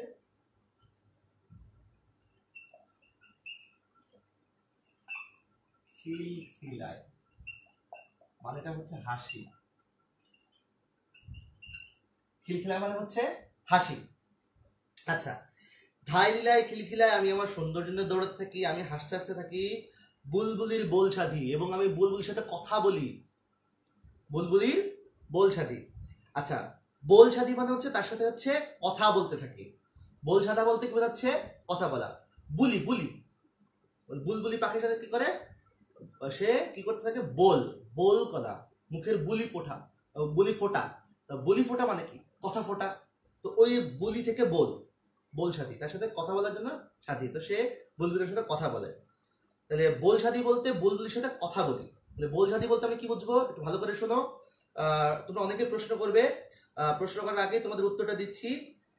আচ্ছা রেহানা দিন কি বলছো? যদি আমাদের এত সুন্দর ক্লাস না নিতেন, তাহলে এত ভালোভাবে কখনোই বুঝতে পারতাম না। মেনি মেনি থ্যাঙ্কস সৌন্দর্য তো এখনও ভালো ক্লাসে তো এখনও শেষই হয় নাই। এখনই ভালো বলতেছো। কবিতা অর্ধেক বাকি আছে। বাকি অর্ধেক শুনো তারপরে ভালো বলো। আগেই প্রশংসা করলে হবে? আগে শুনো বাকি পুরোটা শুনতে হবে তারপর না প্রশংসা করো। আচ্ছা আহ, আহ, রেহানা তোমাকে অনেক ধন্যবাদ তুমি প্রশংসা করেছ। ওকে তোমাকে ওয়েলকাম আচ্ছা তবে কবিতা পুরো অর্ধেক আরও বাকিই রয়েছে। এখন দেখো সেটা হচ্ছে যে বুলবুলির বোলসাধি বুলবুলির বোলসাধি মানে কি? বুলবুলির সাথে কথা বলি। আমি বারবার বলছি বুলবুলির বোলসাধা বলতে কি বোঝাচ্ছে? বুলবুলির সাথে কথা বলা বোঝাচ্ছে বুলবুলি পাখির সাথে। আচ্ছা বন ঝাউয়ের ঝোপ গুলাই। আশা করি যেখান দিয়ে তোমরা এই জিনিসটা জানো, যেখান দিয়ে হচ্ছে বন মানে বনের মাঝখান দিয়ে তো বেসিক্যালি হচ্ছে ঝর্ণাটা চলাফেরা করে। তো বনের মাঝখানে ঝর্ণাটা চলছে, তো বনের মাঝখান দিয়ে অনেক ঝাউ বন রয়েছে না? তো ওটাকেই বলছে? বন ঝাউয়ের ঝোপ গুলায় কাল সারের দল চড়ে। কালসার কালসার মানে কিন্তু দেখি।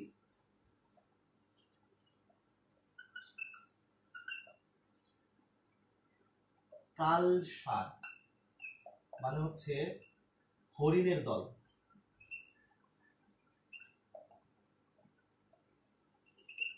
কালসার মানে কি? সবাই লিখে পেল কালচার মানে হচ্ছে হরিণের দল। লিখছো সবাই? ওকে যারা যারা লিখেছো, প্রত্যেকে ধন্যবাদ। কালচারের দল চরে। চরে মানে কি? ঘুরে বেড়ায়। আচ্ছা। চরে চড়া চড়া তো বুঝতে পারতেছো। এটা করি না লিখলেও চলবে। চড়া মানে হচ্ছে ঘুরে বেড়ানো। আচ্ছা তা কালচারের দল চরে। এবার একটা মজার জিনিস বলেছে। এই মজার জিনিস বোঝানোর জন্য আমার একটু সময় লাগবে। এটা হচ্ছে শিং শিলায় শিলার গায়ে ডাল চিনির রং ধরে। ডাল একটা লাইন এত সুন্দর মানে শব্দের চয়ন মানে সত্যনারায়ণ দত্ত এত দারুণ দারুণ শব্দ এখানে ব্যবহার করেছে, খুব সুন্দর করে বুঝাই দিই বুঝাতে সময় লাগবে। শিং শিলায়, হরিণে তো শিং রয়েছে। কি রয়েছে? শিং। শিং শিলায় শিলার গায়ে। আচ্ছা প্রথম শিং শিং তো বুঝো, মাথায় শিং। শিলায় মানে হচ্ছে শিলায় শিলার গায়ে। আচ্ছা শিলায় এবং শিলার এই দুটার অর্থ আলাদা আলাদা। আমি একটু অর্থ লিখি আগে, না লিখলে তোমরা গুলিয়ে ফেলবা হ্যাঁ? শিং শিলাই, এই শিলাই মানে হচ্ছে, একটু আগে তোমরা পড়েছো, শিলাই মানে হচ্ছে, শিলা মানে হচ্ছে পাথর, কিন্তু এখানে ঝামেলাটা এই জায়গায়, একটু ভালো করে দেখো। এখানে শিলাই মানে বোঝাবে ঘর্ষণ করে।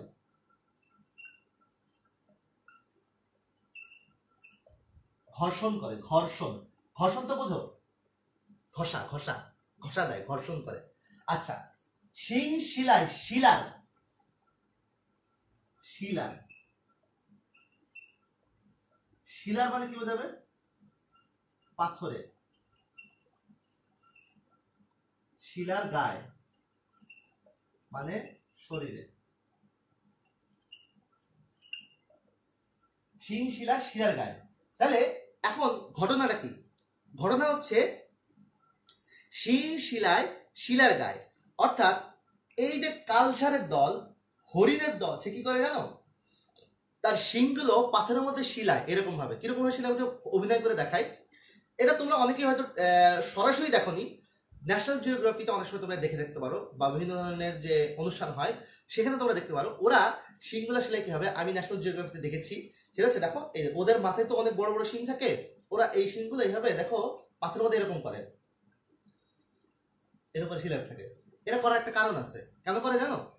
কারণ হচ্ছে, হরিণের কিন্তু আত্মরক্ষা তো ওরা কীভাবে করবে? ওদের কি কোনো অস্ত্র আছে? না। একমাত্রই আত্মরক্ষা যেটাতে করে সেটা হচ্ছে শিং দিয়ে। এখন ওরা যখন শিংগুলা নতুন নতুন গজায়, তখন কিন্তু শিংগুলা মোটা মোটা থাকে। শিংয়ের যে মাথাগুলো মোটা মোটা থাকে। তখন ওই শিংগুলাকে শিলাতে থাকে। শিলালে হয় কি? শিংগুলো অনেক সুস্থ হয়ে যায় অনেক চিকন চিকন হয়ে যায়। এই সুস্থ দিয়ে তোমার যে প্রতিপক্ষ যে থাকে, তাকে খুব সহজেই আঘাত করা যায়, ঘায়েল করা যায়। ওই দেখবা, কোন একটা জিনিসকে, ধরো কোন একটা, আমরা অনেক সময় কি করি? ওই ছুরি যখন করি, ছুরি কি করি বলতো? ছুরি এরকম ঘষি না?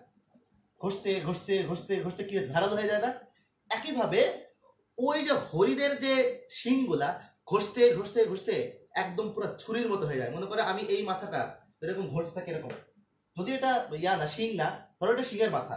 ঘষতে ঘষতে ঘষতে একটা সময়টা এই সাইডটাতে একদম ধারালো হয়ে যাবে না এই সাইডটা তখন এটাতে যদি কাউকে খোঁচা দেয়, খোঁচা দিলে একদম কি? সে একদম জায়গায় ওরা মারা যাবে না? তো এটাই বলছে। তো ওর যে শিংগুলা, ওই শিংগুলো এরকম পাথরের মধ্যে শিলাই হয়ে শিলায়। শিলাতে শিলাতে শিলাতে মানে ঘর্ষ, ঘষা দেয়, ঘর্ষণ দেয়। ঘষা, ঘষতে ঘষতে ঘষতে ঘষতে একটা সময় সুস্থ হয়ে যায়। এটাকে আমাদের এলাকায় বলে সুস্থ মানে হচ্ছে একদম পুরো ধারালো হয়ে যায়। ঠিক আছে? এই ধারালো যখন হয়, ধারালো হলে সে দেশে আত্মরক্ষা করে। কিন্তু তার পরের লাইনটা বলছে, সেটা হচ্ছে ডালচিনির রং ধরে। ডালচিনির রং ধরে মানে কি? ডালচিনি বলতে দারুচিনি তো নিশ্চয়ই সবাই ছিল ডালচিনি বলতে কি হচ্ছে? দারুচিনি দারুচিনি কিন্তু একটা কালার আছে। প্রত্যেকের বাসায় আমরা- অনেকে দারুচিনি খাই। আমাদের কিন্তু দারুচিনি ভালো লাগে। আমি কিন্তু মাঝে মাঝে প্রায় সময় খাই। দারুচিনি খুব মজা তরকারির মধ্যে যেটা দেয় আর কি। তরকারির মধ্যে। ওরা অনেক সময় দেখি তরকারির মধ্যে দেওয়ার আগে আমরা একটু ওই রান্না করে যে কিছু ভালো লাগে খাই। বেশ ভালোই লাগে। আমার কিন্তু বেশ মজা লাগে। তোমরা অনেকে খাও। তোমরা কারা কারা খাও এটা জানাতে পারো। তোমাদের কারা কারা ভালো লাগে? সেটা হচ্ছে আচ্ছা কোহিনুর খান একটা কথা বলেছে, ব্যথা লাগে না? না না না ব্যথা লাগে না। ব্যথা লাগে না, ওদের ব্যথা লাগলে কি করতো? ওরা কেন আমাদের মতো, মানুষের মতো? ওরা তো হরিণ। আচ্ছা। আচ্ছা এখন দেখো, সেটা হচ্ছে খেয়ালটা হচ্ছে যে, এই অনেক সময় কিন্তু আমরা ওই ডালচিনি, ডালচিনির বাসার মধ্যে থাকে দারুচিনি আর কি। এই ডালচিনি বলতে দারুচিনি। তো দারুচিনির একটা কালার আছে। তো যখন ওই পাথরের মধ্যে হরিণের দলগুলো যখন শিংগুলো শিলায়, শিলানোর পর একটা রং হয়ে যায়। যেমন ধরো সাপোজ ধরে নাও এটা একটা, আমার হাতে যে মার্কারটা এটা ধরে নাও এটা হচ্ছে একটা ইটের টুকরা। ইটের টুকরা যখন আমি কোনো একটা জায়গায় দাগ দিই, তখন ইটের একটা কালার হয়ে যায় না।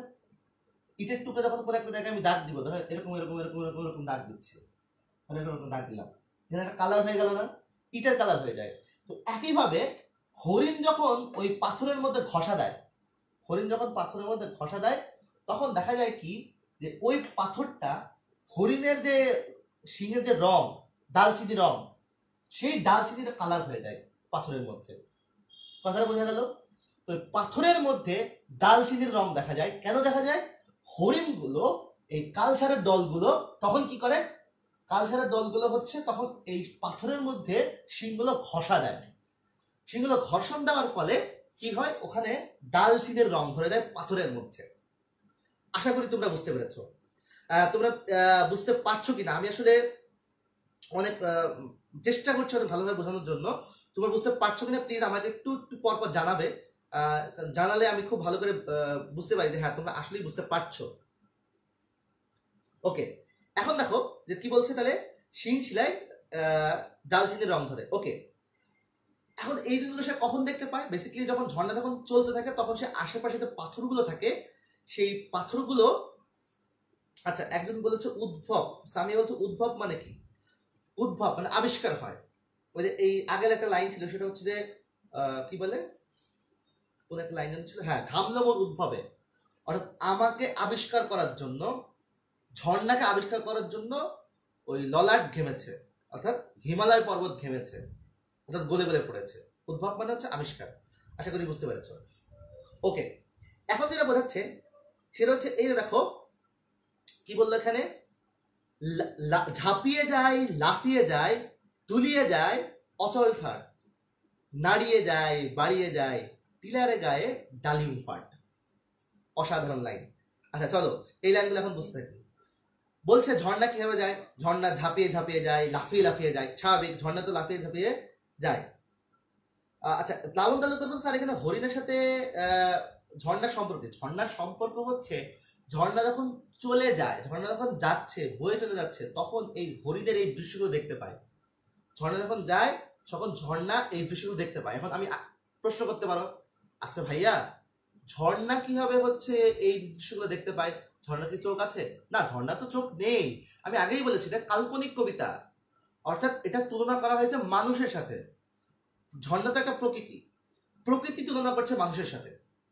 মানুষের মতো করে সবকিছু ওখানে উপস্থাপন করছে। কথা কি বুঝতে পারলে? আচ্ছা। এখন খেয়াল করে দেখো। তোমরা কি কোন একটা পার্টিকুলার প্রশ্ন করছ? আমি কি সেই প্রশ্নটা কি এড়িয়ে যাচ্ছি? ঘামলমর উদ্ভবে। ঘামলমর উদ্ভবে, আমি কিন্তু উত্তরটা এর আগে অনেকক্ষণ সময় নিয়ে দিয়েছি। তুমি যদি এখন বুঝতে না পারো, আমি বলব যে ক্লাসে তুমি শেয়ার করে রাখো। ক্লাসটা তোমরা যারা যারা অনেক দেরিতে জয়েন করেছ, আমি বলব প্লিজ ক্লাসটা শেয়ার করো একদম শুরু থেকে তোমরা দেখতে পারবে। কারণ পেছনের দেওয়া একটা পাঁচ দশ মিনিট ধরে একটা দেওয়া ব্যাখ্যা, আমি যদি আবার রিপিট করি, দেখা যায় ক্লাসটা আরও অনেক অকারণে বড় হবে। তো ক্লাসটা সবাই যেহেতু করছি, সবাইকে একটু অনুরোধ করব, তোমরা যারা আগের কোনো লাইন বুঝতে পারছ না, সেই লাইনের প্রত্যেকটা ব্যাখ্যা আমি যথেষ্ট সময় নিয়ে দিয়েছি। সেগুলো তোমরা পেছন থেকে টেনে টেনে তোমরা দেখে নিও পরবর্তীতে। আমি এখন পরের যে ইয়েগুলো সেখানে যাই। আচ্ছা। ওকে। ধামলবর উদ্ভবে মানে হচ্ছে, অর্থাৎ ঝর্ণা তার নিজের উদ্ভব ঝর্ণার উদ্ভব হচ্ছে, আবিষ্কার হচ্ছে। কীভাবে হচ্ছে? ওই পর্বত হিমালয় গলে গলে। তো হিমালয় পর্বত গলে যাওয়া কবে হচ্ছে ঘেমে যাওয়া। আশা করি বুঝতে পেরেছ। আচ্ছা এখন যেটা বলছে যে, যে- আমি যে লাইনটায় ছিলাম সেই লাইন আবার ফিরে যায়। ঝাঁপিয়ে যায়, লাফিয়ে যায়, দুলিয়ে যায়, অচল ঠাক অর্থাৎ আমি যখন যাচ্ছি, ঝর্ণা যখন বয়ে চলে যাচ্ছে ঝর্ণা বয়ে চলে যাওয়ার কারণে, ঝর্ণা বয়ে চলে যাওয়ার কারণে কি হচ্ছে? সব ঝাঁপিয়ে ঝাঁপিয়ে যাচ্ছি, লাফিয়ে লাফিয়ে যাচ্ছি, দুলিয়ে দুলিয়ে যাচ্ছি। এবং এই যে লাফিয়ে ঝাঁপিয়ে এসে যাচ্ছে, এতে করে অচল ঠাট। অচল ঠাট। ঠাট মানে কি?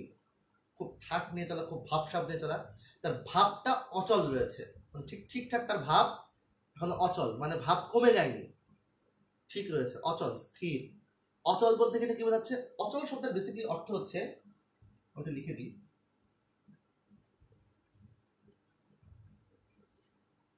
অচল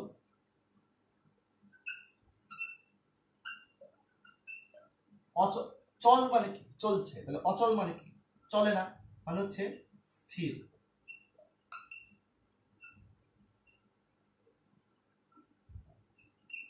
চল অচল মানে কি? স্থির। এখন তুমি একটু বুঝে দেখো, এই যে অচল মানে বলল যে স্থির স্থির বলতে কি বোঝাচ্ছে? স্থির বলতে বোঝাচ্ছে আমার এখন যে ঠাটটা মানে আমার যে ভাবটা, ঠাট মানে কি? খুব ঠাট বাট নিয়ে চলে, এরকম বলে না? খুব ঠাট বাটে চলছে। এই যে আমি খুব ঠাটে চলছি, এই ঠাটটা, আমার ভাবটা অচল রয়েছে, স্থির রয়েছে। আমার অচল এখনও কমেনি। আমি যতই গড়িয়ে গড়িয়ে যাচ্ছি, ঝর্ণার পানি যতই গড়িয়ে যাক, যতই লাফিয়ে দুলিয়ে যাক, এতে করে আমার কখনো ঠাট বা আমার যে কি বলে? আমাদের একটা ভাব বা গর্ব এটা কখনো কি হয় না? কমে যায় না, এটা অচল থাকে, স্থির থাকে, সবসময় থাকে, আমার ভিতরে বজায় থাকে। আচ্ছা এরপর কি বলছে? নাড়িয়ে যায়, বাড়িয়ে যায়, সবকিছু নাড়িয়ে বাড়িয়ে চলে যাচ্ছি। টিলার গায়ে ডালিম ফাট, টিলা মানে কি? টিলা মানে হচ্ছে, ওই যে দেখো, টিলা বেসিকলি বুঝতে হবে অনেকেই তোমার প্রশ্ন করতে পারো। প্রশ্ন করতে গিয়ে আমি আগেই খুব ভালো করে বলে দিচ্ছি, একটু ভালো করে শুনতে হবে তাহলে তোমাদের প্রশ্নগুলো থাকবে না। সেটা হচ্ছে যে, এখন এই যে শালিক টিলার দুঃখিত টিলার গায়ে ডালিম ফাট টিলা হচ্ছে পাহাড় না, কিন্তু ছোট ছোট উঁচু জায়গা, ঢিপি। এগুলোকে বলা হয় টিলা। এখন এই টিলার গায়ে অনেক দেখো পাহাড়ের আশেপাশে কিন্তু অনেক বড় বড় পাথর থাকে টিলার মতো। আবার বলছি, দেখবা ঝর্ণার আশেপাশ দিয়ে, ঝর্ণা যেখান দিয়ে চলে যাচ্ছে, ঝর্ণার আশেপাশ দিয়ে অনেক জায়গায় কি হচ্ছে? অনেক জায়গায় ছোট ছোট পাহাড় থাকে ছোট ছোট পাহাড় না, ঠিক ছোট ছোট উঁচু জায়গা থাকে বা ছোট ছোট অনেক কি বলব এটাকে, বড় পাথর আর কি, বড় বড় পাথর থাকে। পাথর তো ছোট আছে বাট হয় না, মাঝে মাঝে অনেক জায়গায় বড় বড় পাথর থাকে। এই বড় বড় পাথরটাকে টিলা বল- বলছে এখানে। এখন ঘটনাটা কি ঘটছে? ধরো তুমি কল্পনায় ধরে নাও, আমার হাতে যে মার্কারটা আছে, এই মার্কারটা মার্কার দিয়ে বোঝালে কেমন যদি হয়, আমার হাতে একটা মাউস আছে, এই মাউসটা তোমাকে বোঝাই। ধরো এই মাউসটা হচ্ছে একটা পাথরের মতো, ঠিক আছে? এটা বোঝার চেষ্টা করো। ধরো এখান দিয়ে হচ্ছে ঝর্ণার পানি বয়ে যাচ্ছে, ঠিক আছে? আমি তোমার এইভাবে বোঝাই। ধরো এটা একটা, এই সেই টিলা, এই মাউসটাই হচ্ছে সেই কি? টিলা। এখন এই টিলার উপর দিয়ে, মনে করো উপর দিয়ে এরকম কি বয়ে আসছে? এরকম ঝর্ণার পানি উপর দিয়ে এরকম বয়ে চলে যাচ্ছে। তো ঝর্ণার পানি যখন যাচ্ছে, ঝর্ণা কিন্তু একটা মোটামুটি সমতল জায়গা চলে যাচ্ছিল।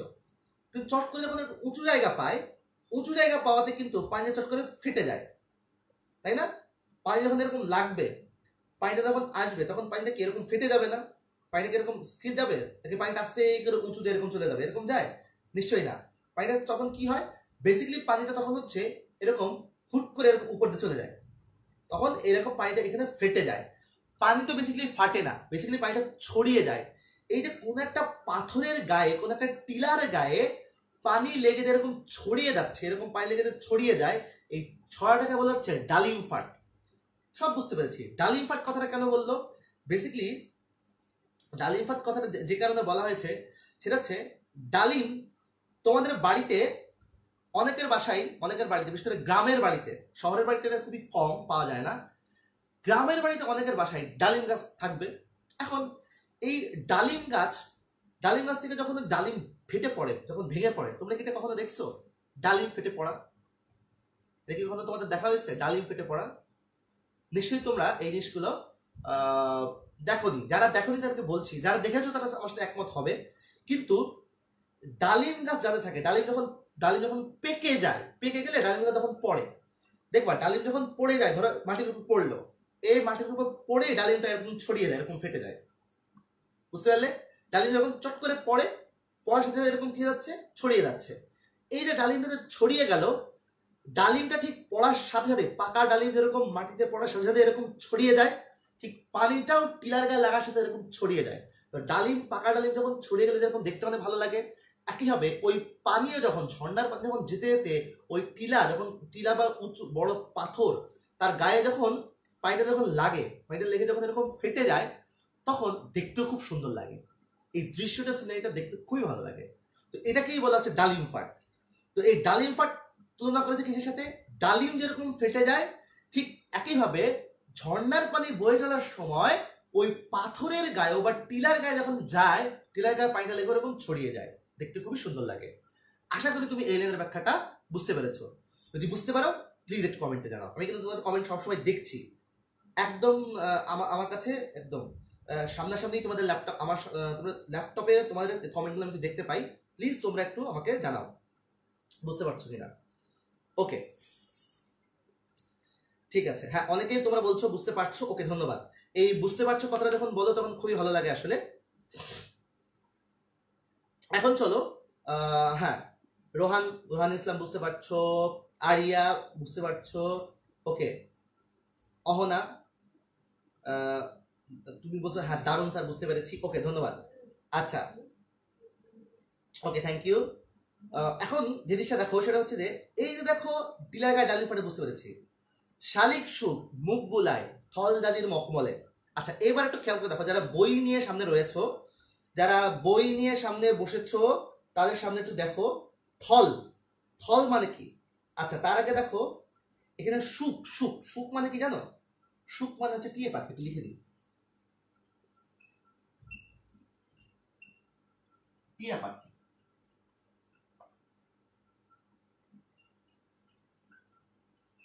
সুখ মানে কি? টিয়া পাখি। আচ্ছা এখন দেখো, থল। থল শব্দের মানে হচ্ছে স্থল।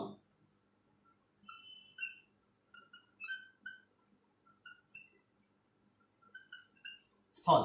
আচ্ছা এখন দেখো, থল ঝাঁঝির ঝাঁঝি।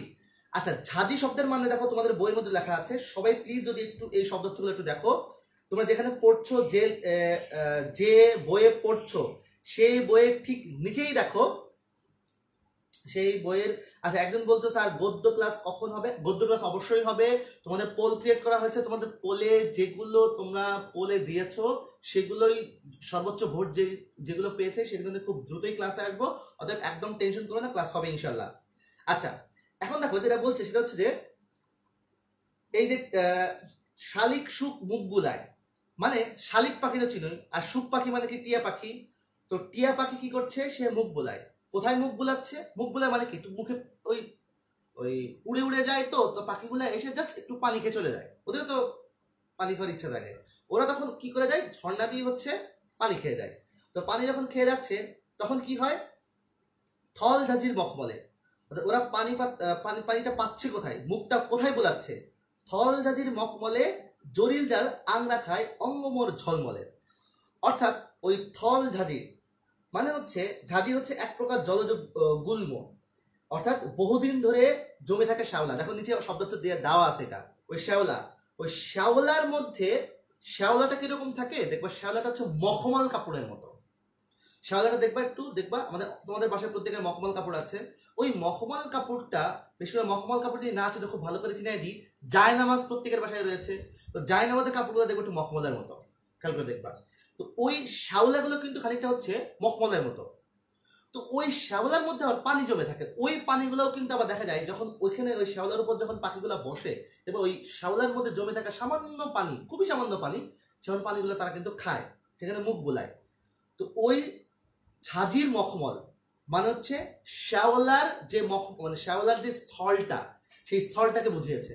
শ্যাওলা জায়গায় আবৃত যে জায়গাটা হ্যাঁ স্যার, থল ঝাঁঝির স্থল মানে কি? এটা তুমি জিজ্ঞেস করছ, সেটাই তো এখন বলছি আমি।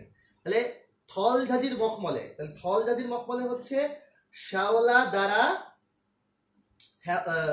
শ্যাওলা দ্বারা যে আবৃত যে জায়গাটা, অর্থাৎ পানি যে জায়গা অনেক বেশি লাগে। আমি এই যে একটু ক্লিয়ার করে বলি। দেখবা, নদীর পাড় নদীর পাড় তো নদীর না পাড় না বলে যদি বলি যে হচ্ছে পুকুরের পাড়ে অনেক সময় শান বাঁধানো থাকে, সিঁড়ি থাকে, শান বাঁধানো। সেখানে পানি লাগতে লাগতে লাগতে অনেক থেকে শ্যাওলা জমে যায় না?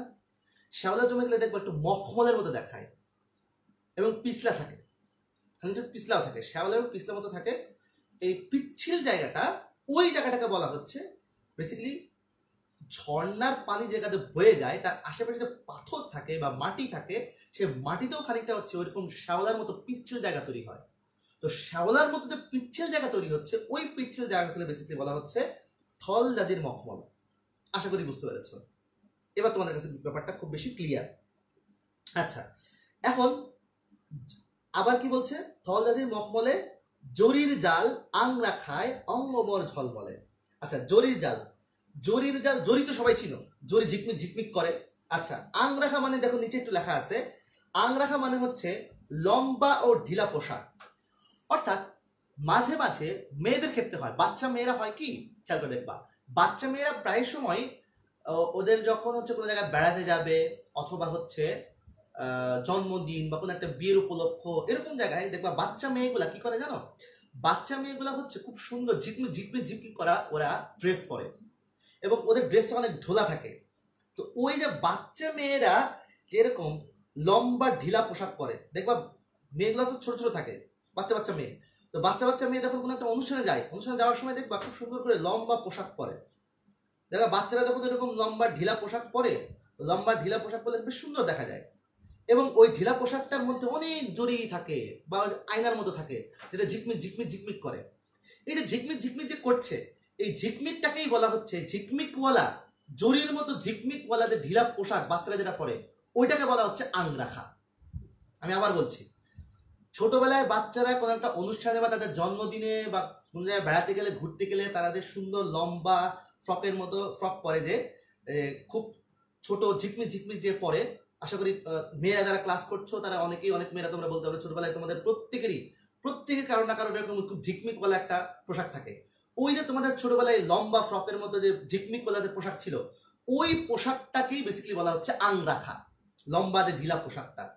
তো লম্বা ঢিলা পোশাকে আংরাখার মধ্যে একটা মজার জিনিস হতো। কি জানো? ওই লম্বা যে ঢিলা পোশাক, ঝিকমিক করে যে পোশাক, ওই পোশাকের মধ্যে আবার খেয়াল করে দেখবে যখন রোদ পড়তো, মনে করো তুমি জায়গায় দাঁড়িয়ে আছো, তোমার ওই ড্রেসের মধ্যে খুব সুন্দর ছোট ছোট ছোট আয়না বা ঝিকমিক ঝিকমিক করছে। এখন দেখবা তুমি ইচ্ছা করে বাচ্চারা কি করে জানো? এই রোদের মধ্যে যে দাঁড়ায়। দাঁড়ালে হয় কি, ওর গায়ে রোদ লাগে, ওই রোদের রিফ্লেকশন থেকে কি হয় জানো? অন্য জায়গায় হচ্ছে ওই ঝিক রিফ্লেকশনটা পড়ে। রোদের রিফ্লেকশনটা পড়ে আমরা তো সবাই জানি, আয়না ধরলে কি হয়? রোদের মধ্যে আয়না ধরলে ওই আয়না দিয়ে সব জায়গায় এরকম এরকম আমরা মজা করি, শয়তানি করি। তো এই জিনিসগুলো করি, এই জিনিসটা আনমনে হয় কি করে- কি হবে জানো? ওদের ড্রেসের মধ্যে হয়। ওই ড্রেসের মধ্যে হলে এটা ঝলমল ঝলমল করে। বুঝতে পারলে? এখন এই যে বাচ্চারা যে ড্রেসটা ঝলমল করে, এর সাথে ঝর্ণার সম্পর্ক কি?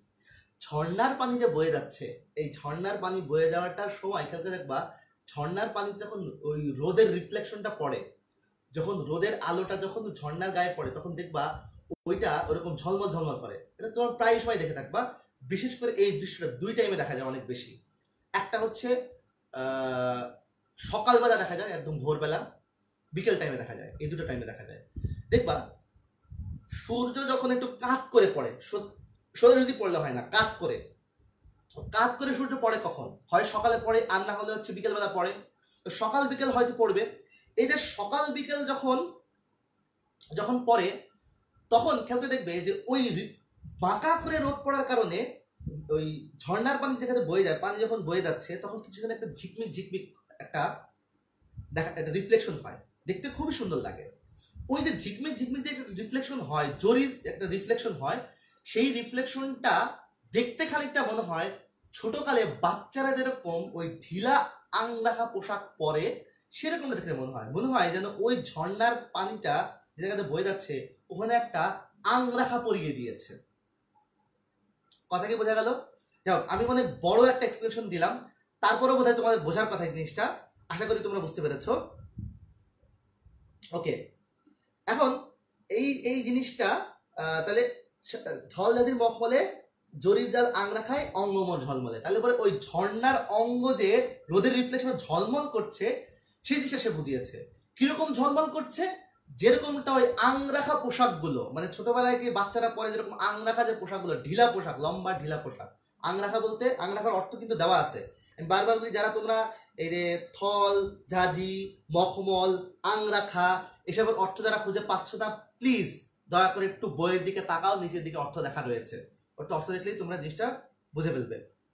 আর আচ্ছা এখন খেয়াল করে দেখো যে এই আশা করি এই লাইনগুলো তোমরা খুব ভালো করে বুঝতে পেরেছ। এরপরে লাইনে চলে যাই। তারপর বলছে, নিম্নে ধায় শুনতে পাই। আমি কি করতে পারি? নিম্নে ধায়। অর্থাৎ সে নিম্নে যখন যাচ্ছে, নিম্ন ধায় বলতে সে বয়ে বয়ে চলছে আর কি। ধায় মানে দৌড়ায়। সে যখন নিম্নে যাচ্ছে তখন শুনতে পায়। কি শুনতে পায়? ফটিক জল।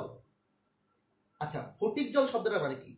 ফটিক জল মানে হচ্ছে, একটু দেখো, প্রত্যেকে নিচের দিকে তাকাও। আমি এই শব্দ অর্থটা লিখব না। একটা বইয়ের মধ্যে নিচেই লেখা আছে। দেখো, একটু প্লিজ দয়া করে তুমি একটু নিচের দিকে তাকাও। তুমি যেখানে পড়ছো, তার নিচেই শব্দ লেখা- রয়েছে।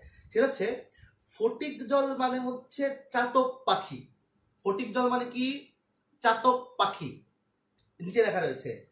এই পাখি ডাকলে ফটিক জল শব্দের মতো শব্দ শোনায়। ফটিক জল, চাতক পাখি। এখন দেখো, এই ফটিক জল চাতক পাখির একটা নিয়ম আছে মানে একটা ধরন আছে। ধরন কি জানো? অদ্ভুত একটা নিয়ম। এই নিয়মটা অনেকে তোমরা জানো অথবা অনেকে জানো না। নিয়মটা হচ্ছে, চাতক পাখি কখনোই কিন্তু কোনো সময়, খেয়াল করে দেখবা, চাতক পাখি কখনোই নর্মালি নদীর পানি খায় না বা কুয়োর পানি খায় না, ওরা কখনোই খায় না। খায় না এবং পাশাপাশি ওরা সবসময় অপেক্ষা করে কখন বৃষ্টি হবে, কখন বৃষ্টি হবে আর সেই বৃষ্টির পানি তারা খাবে। এটা তো সবসময়, তারা সবসময় হচ্ছে ওয়েট করে, সবসময় এই ওয়েটটা তারা করে যে কখন সেই বৃষ্টি হবে আর চাতক পাখি কখন সেই পানি খাবে। এতে করে দেখা যায় তারা বহুদিন বহুদিন পার হয়ে যায়, কয়েক মাস পার হয়ে যায়, তারা পানির জন্য হাহাকার করে, ডাকে। কাক মানে কাক যেরকম ডাকে, ডাকতেই থাকে, ওরা এরকম ডাকতেই থাকে। কাকের মতো ডাকে না বাট ওদের ওদের মতো করে ডাকে আর কি। এবং ওরা আকাশ পানে চেয়ে থাকে। কেন জানো? কখন সেই বৃষ্টি হবে, সেই পানি খাবে। অথচ ওরা চাইলেই কিন্তু একটু ওই যে নদীর জলের পানি বা কুয়োর পানি বা যে কোনো জায়গায় পানি খেতে পারে, কিন্তু ওরা খায় না। এর ওদের একটা স্বভাব। কেন খায় না এটা বলাটা খুব মুশকিল? কারণ খায় না এটা ওদের স্বভাব। কিন্তু দেখা যায় যে এই চাতক পাখিগুলো কি করে? ওই পানি যখন পায় না, বৃষ্টি যখন হয় না, তখন সেই চাতক পানি কিন্তু হাঁকছে। হাঁকছে কথাটা মানে কি? ডাকছে, চিৎকার করে ডাকছে। হাঁকছে। আচ্ছা এখন যে কথাটা বলা হচ্ছে সেটা হচ্ছে যে এই যখন ডাকতে থাকে, যখন ডাকতে থাকে, তখন আবার এই ডাকটা ঝর্ণা শুনতে পারে। ফটিক জল যখন ডাকে, তখন সে বলে হাঁকছে কে হাঁকছে কে মানে কি? ডাকছে কে হাঁকছে কে শব্দের মানে কি?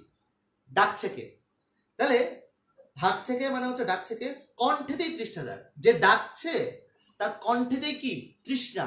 বোঝাই যাচ্ছে, ও ডাকছে। যে আমাকে একটু পানি দাও পানি দাও পানি দাও, পানি এরকম বলছে। তার কণ্ঠতেই বোঝা যাচ্ছে। অর্থাৎ ফটিক জলের কণ্ঠেতেই বোঝা যাচ্ছে যে ফটিক জলের কণ্ঠেতেই বোঝা যাচ্ছে যে তার কণ্ঠেতে অনেক বেশি তৃষ্ণা সে পানি খাবে। তাকে একটু অবজ্ঞা করে বলছে। ঝর্ণা এবার তাকে একটু অবজ্ঞা করে বলছে, নির্দেশে পাক থেকে। সে একটু পাক থেকে, পাক কথাটা মানে কি? পাক মানে লিখে দিই। পাক মানে হচ্ছে কাদা। কাদা মানে কান্নাকাটি না, কাদা। বুঝছ তো? কাদা। আচ্ছা কান্নাকাটি না কিন্তু, ওই যে মাটির কাদা আর কি, ওটা। আচ্ছা এখন যেটা বলছে সেটা হচ্ছে যে, এই যে, খেয়াল করে দেখো, পাক মানে হচ্ছে কাদা। তাহলে পরে ওই মাটিতে যে পানি থাকে, মাটিতে যে পানি থাকে, সেই পানিটা বোধহয় একটু কাদা মিশ্রিত থাকে, ঘোলা থাকে। তাতে কি? সে কাদা থেকে পানি নিক না, সমস্যা কি? সে পানি তো পাবে। আবার বলছে গরজ যার গরজ মানে কি? গরজটি লিখে দিই। গরজ মানে হচ্ছে ইচ্ছা।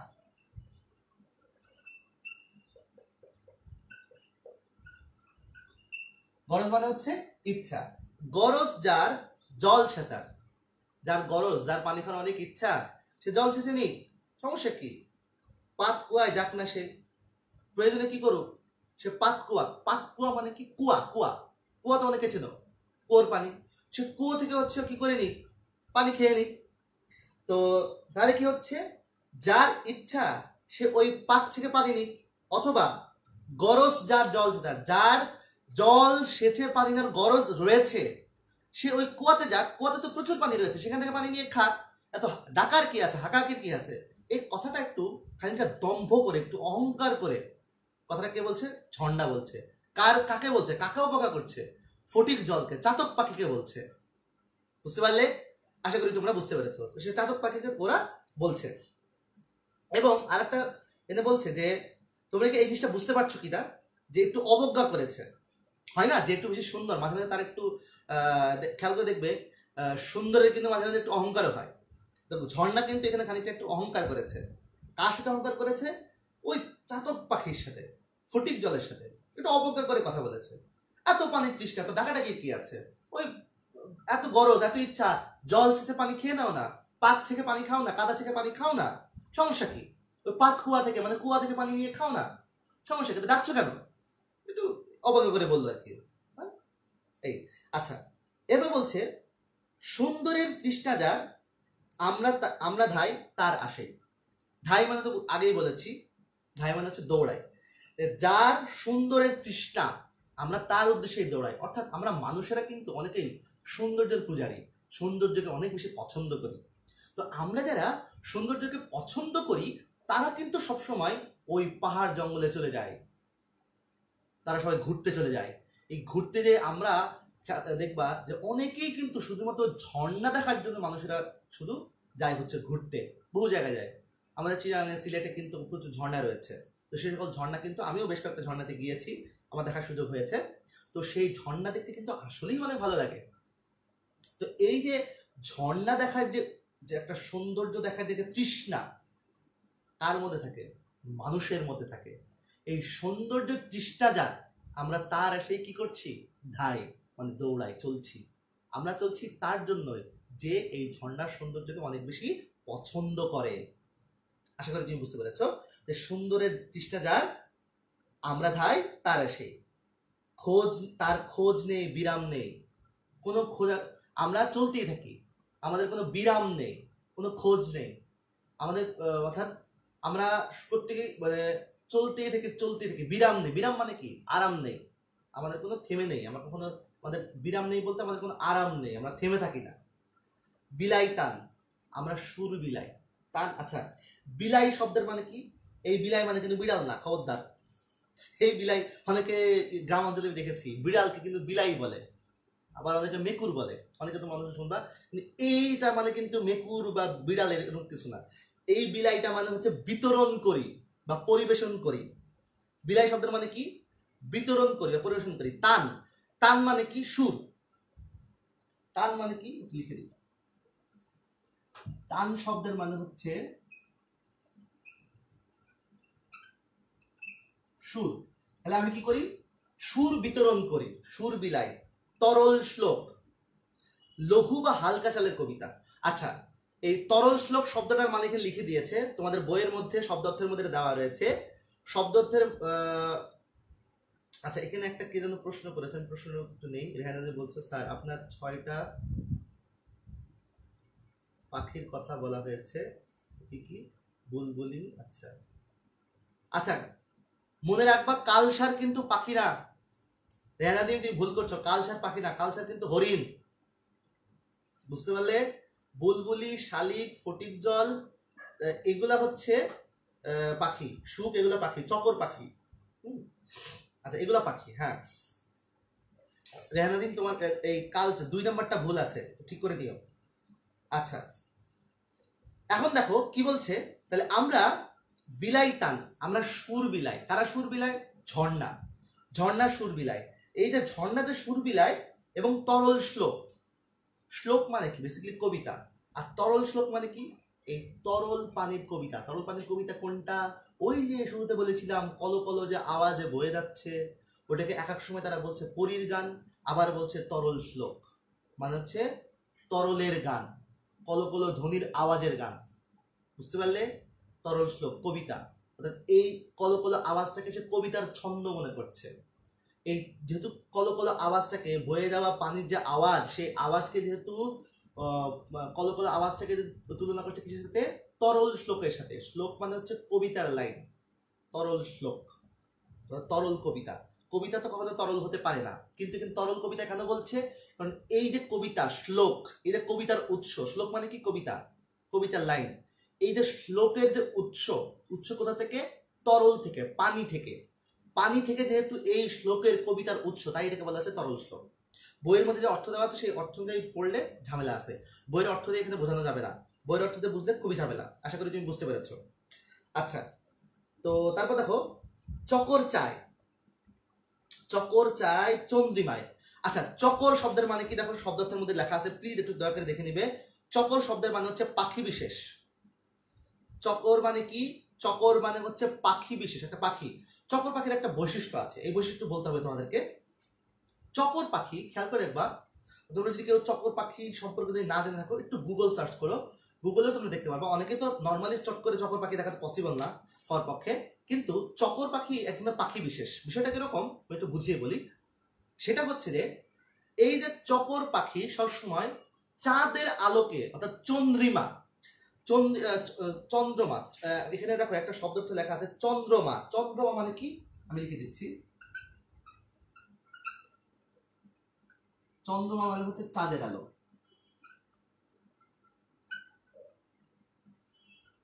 চাঁদের আলো। এখন, এই চকর পাখি, সে কি করে জানো? চকর পাখি। চকর পাখি মানে- চকর মানে কি? একটা পাখি বিশেষ। আমি আবারও বলছি, চকর মানে কি? পাখি বিশেষ। আচ্ছা তো এই চকর পাখি সবসময় চন্দ্রিম চন্দ্রমাকে অনেক বেশি ভালোবাসে। অর্থাৎ চন্দ্রমাকে অনেক বেশি ভালোবাসে বলতে হচ্ছে চাঁদের আলোকে অনেক বেশি ভালোবাসে।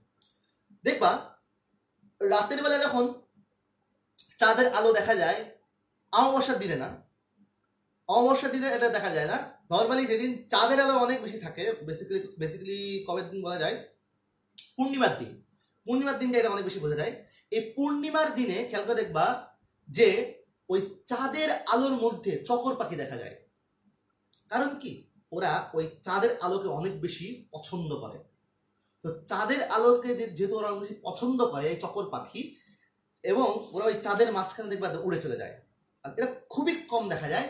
নর্মালি এই ধরনের দৃশ্যগুলো আমি নিজেও চোখে দেখিনি। পরবর্তীতে আমার যখন একটু জানার খুব ঝোঁক হলো, তখন আমি একটু গুগল সার্চ করলাম। আমি গুগলের মধ্যে সার্চ করে দেখলাম হ্যাঁ চকর পাখি আসলেই চাঁদের আলোকে অনেক বেশি পছন্দ করে। এবং সেখানে আমরা দেখতে পেয়েছিলাম যে সত্যিকার অর্থে কিছু পাখি আছে যারা, ওই চকর পাখিগুলো দেখা যায় কি, চাঁদের মাঝখান দিয়ে এরকম যাচ্ছে। নর্মালি হচ্ছে চাঁদের মাঝখান দিয়ে কোনো যেতে দেখি না। অনেক দেখবা পাখি আসা যাওয়া করে মাঝে মাঝে ওই পাখিগুলোকে বেসিক্যালি বলা হয় চকর পাখি।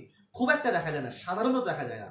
শহরে তো এরকম দেখা যায় খুবই কম। গ্রামে দেখা যায়, তবে সেটা খুবই রেয়ার গ্রামে দেখা যায় এটা খুবই রেয়ার তো বলা হচ্ছে যে এই যে চকর পাখি, এই চকর পাখি সে কি করে?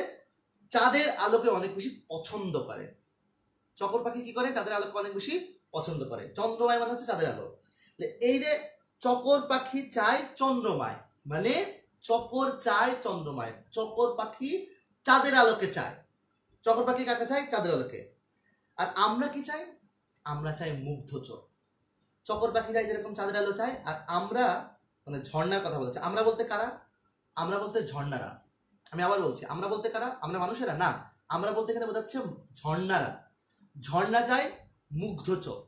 আমাদের এমন কোনো চোখ আসুক মানে আমরা তো যখন যাই, তখন আমরা মুগ্ধ চোখে ঝর্ণার দিকে তাকিয়ে থাকি। তো আমরা আসলে সেই মুগ্ধ চোখকেই চাই। যে মানুষ আমাদেরকে দেখতে আসুক, আমরা সেই মুগ্ধ চোখের আশায় আমরা এরকম চলতে থাকি। আমাদের কোনো বিরাম নাই। আমাদের কি না কোনো বিরাম নাই। এবং আরও বলছে যে, চপল পায় কেবল কেবল ধায়। কি করি? ওই যে শুরুর লাইনটা, চপল পায় চপল শব্দের মানে কি? শুরুতে লিখে দিয়েছিলাম, চঞ্চল। চঞ্চল পায় কেবল ধায় ধায় মানে কি? দৌড়ায়। চঞ্চল পায় কেবল দৌড়ায়। উপল ঘায় আচ্ছা উপল ঘায় শব্দের মানে কি? উপল ঘায় শব্দের মানে লিখে দিচ্ছি।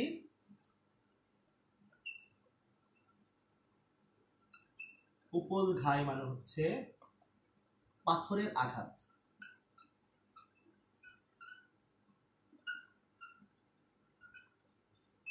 পাথরের আঘাত। উপল ঘায় ঘায় ঘায় দেওয়া, আঘাত করা। উপল এখানে বোঝা হচ্ছে পাথর। তা উপল ঘায় মানে পাথরের আঘাত। তো আমরা কি করি? আমরা হচ্ছে চপল পাই কেবল ধায় উপল ঘায় দি ঝিলিক। তো আমরা যখন চঞ্চল পাই, যখন চলতে থাকি তোমরা একটু এখান থেকে দেখে নাও, অনেকে তোমরা লিখছো। আর আমি এই- এইদিকে দাঁড়িয়ে তোমাদের সাথে কথা বলছি।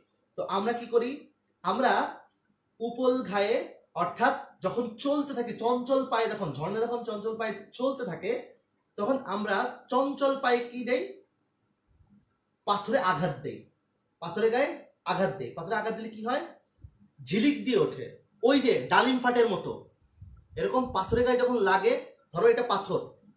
এই পাথরে গায়ে লাগল। তো পাথরে গায়ে যেরকম পানিটা লাগছে, তখন পানিটা ছড়িয়ে যাচ্ছে না? পানিটা ছড়িয়ে একটা ঝিলিক মতো দেয় না? এই যে ঝিলিকটা দেখতে খুব সুন্দর লাগে। তো বলছে যে উপল ঘায় দি ঝিলিক ঝিলিক দিয়ে উঠি। তো এই যে যখন চঞ্চল পায়ে যখন চলতে থাকি, তখন পাথরে গায়ে যখন আঘাত করি, তখন একটা ঝিলিক দিয়ে উঠি। ঠিক মানে হচ্ছে চারিদিকে ছড়িয়ে দেয়।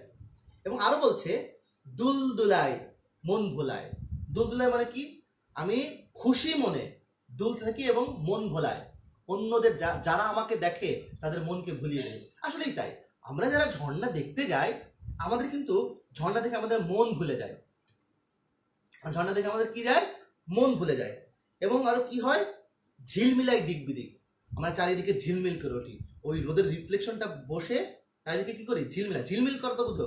ঝিলমিল করে ওঠে, ঝিকমিক করে ওঠে, দিক বিদিক। দিক বিদিক মানে কি? দিক বিদিক মানে একটু লিখে দিচ্ছি। দিক বিদিক শব্দের মানে হচ্ছে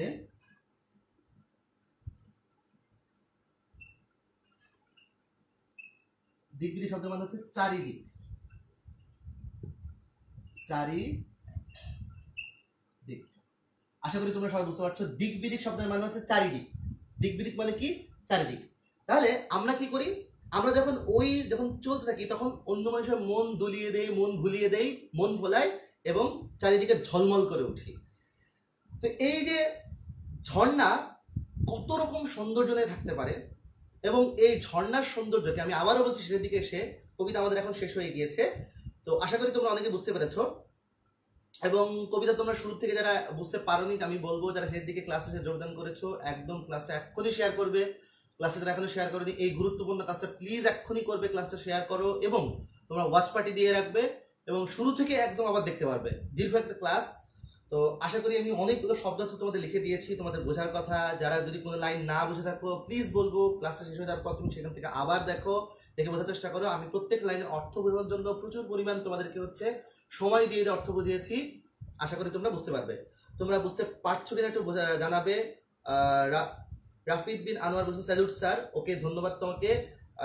আসলে স্যালুট দেওয়ার মতো কোনো কাজ করেছে কিনা আসলে জানি না। ওকে আনোয়ার বলছে, উই লাভ ইউ স্যার। হ্যাঁ ধন্যবাদ ধন্যবাদ ধন্যবাদ। আচ্ছা এখন কথা হচ্ছে যে আমরা এই মুহূর্তে যারা সেদিন দিকে এসেছে, খুশির খবরটা আরেকবার একটু বলতেই হবে আমাদেরকে। আমাদের কিন্তু উপরে দেখবা, আমাদের একটা ক্যাপশন আমাদের টেন নিউজ স্কুলের অ্যাপের লিঙ্ক দেওয়া রয়েছে। আমাদের এই অ্যাপটার একটা দারুণ সুখবর রয়েছে। সুখবরটা হচ্ছে ওয়ান মিলিয়ন দ্যাট মিনস দশ লাখ। ওয়ান মিলিয়ন আমি আবারও বলছি, দশ লাখ মানুষ আমাদের এই অ্যাপটা ডাউনলোড করেছে। এতে করে আমাদের পুরো টেনিস স্কুল পরিবারে আমরা অনেক খুশি। এবং এই খুশিতে আমরা একটা সেলিব্রেশন করব। এই সেলিব্রেশন আমাদের একটি ক্যাম্পেইন হবে। এই ক্যাম্পেইনটা কি হবে? আমরা খুব দ্রুত শীঘ্রই তোমাদেরকে জানিয়ে দেব। এবং এই ক্যাম্পেইনটা জানানো ক্যাম্পেইনটা কি সম্পর্কে হচ্ছে, কীভাবে হচ্ছে, তোমরা কীভাবে অংশগ্রহণ করবে ক্যাম্পেইনে তার সম্পর্কে বিস্তারিত তথ্য খুব শীঘ্রই আমাদের টেনিস স্কুলের বিভিন্ন গ্রুপ বা পেজে চলে আসবে। এবং সেই অ্যানাউন্সমেন্টগুলো তোমরা অবশ্যই সেখানে পেয়ে যাচ্ছ, আশা করি প্রত্যেকে অংশগ্রহণ করবে। আর আমাদের এই ক্লাসে তোমরা যদি বুঝতে পারো না বুঝে থাকো, তাহলে অবশ্যই কমেন্টে তোমরা জানাবে। আর বুঝে থাকলে তোমরা সেটাও কমেন্টে জানাবে। এবং আমাদের এই ক্লাসটি সাপোর্ট করছে good luck stationery good luck স্টেশনারিকে আবারও ধন্যবাদ জানাচ্ছি। তারা প্রত্যেকটা সময় আমাদের পাশে থাকবে। সেই আশা করেই আজকের ক্লাসে তোমাদের সবার কাছ থেকে বিদায় নিচ্ছি। আসসালামু আলাইকুম।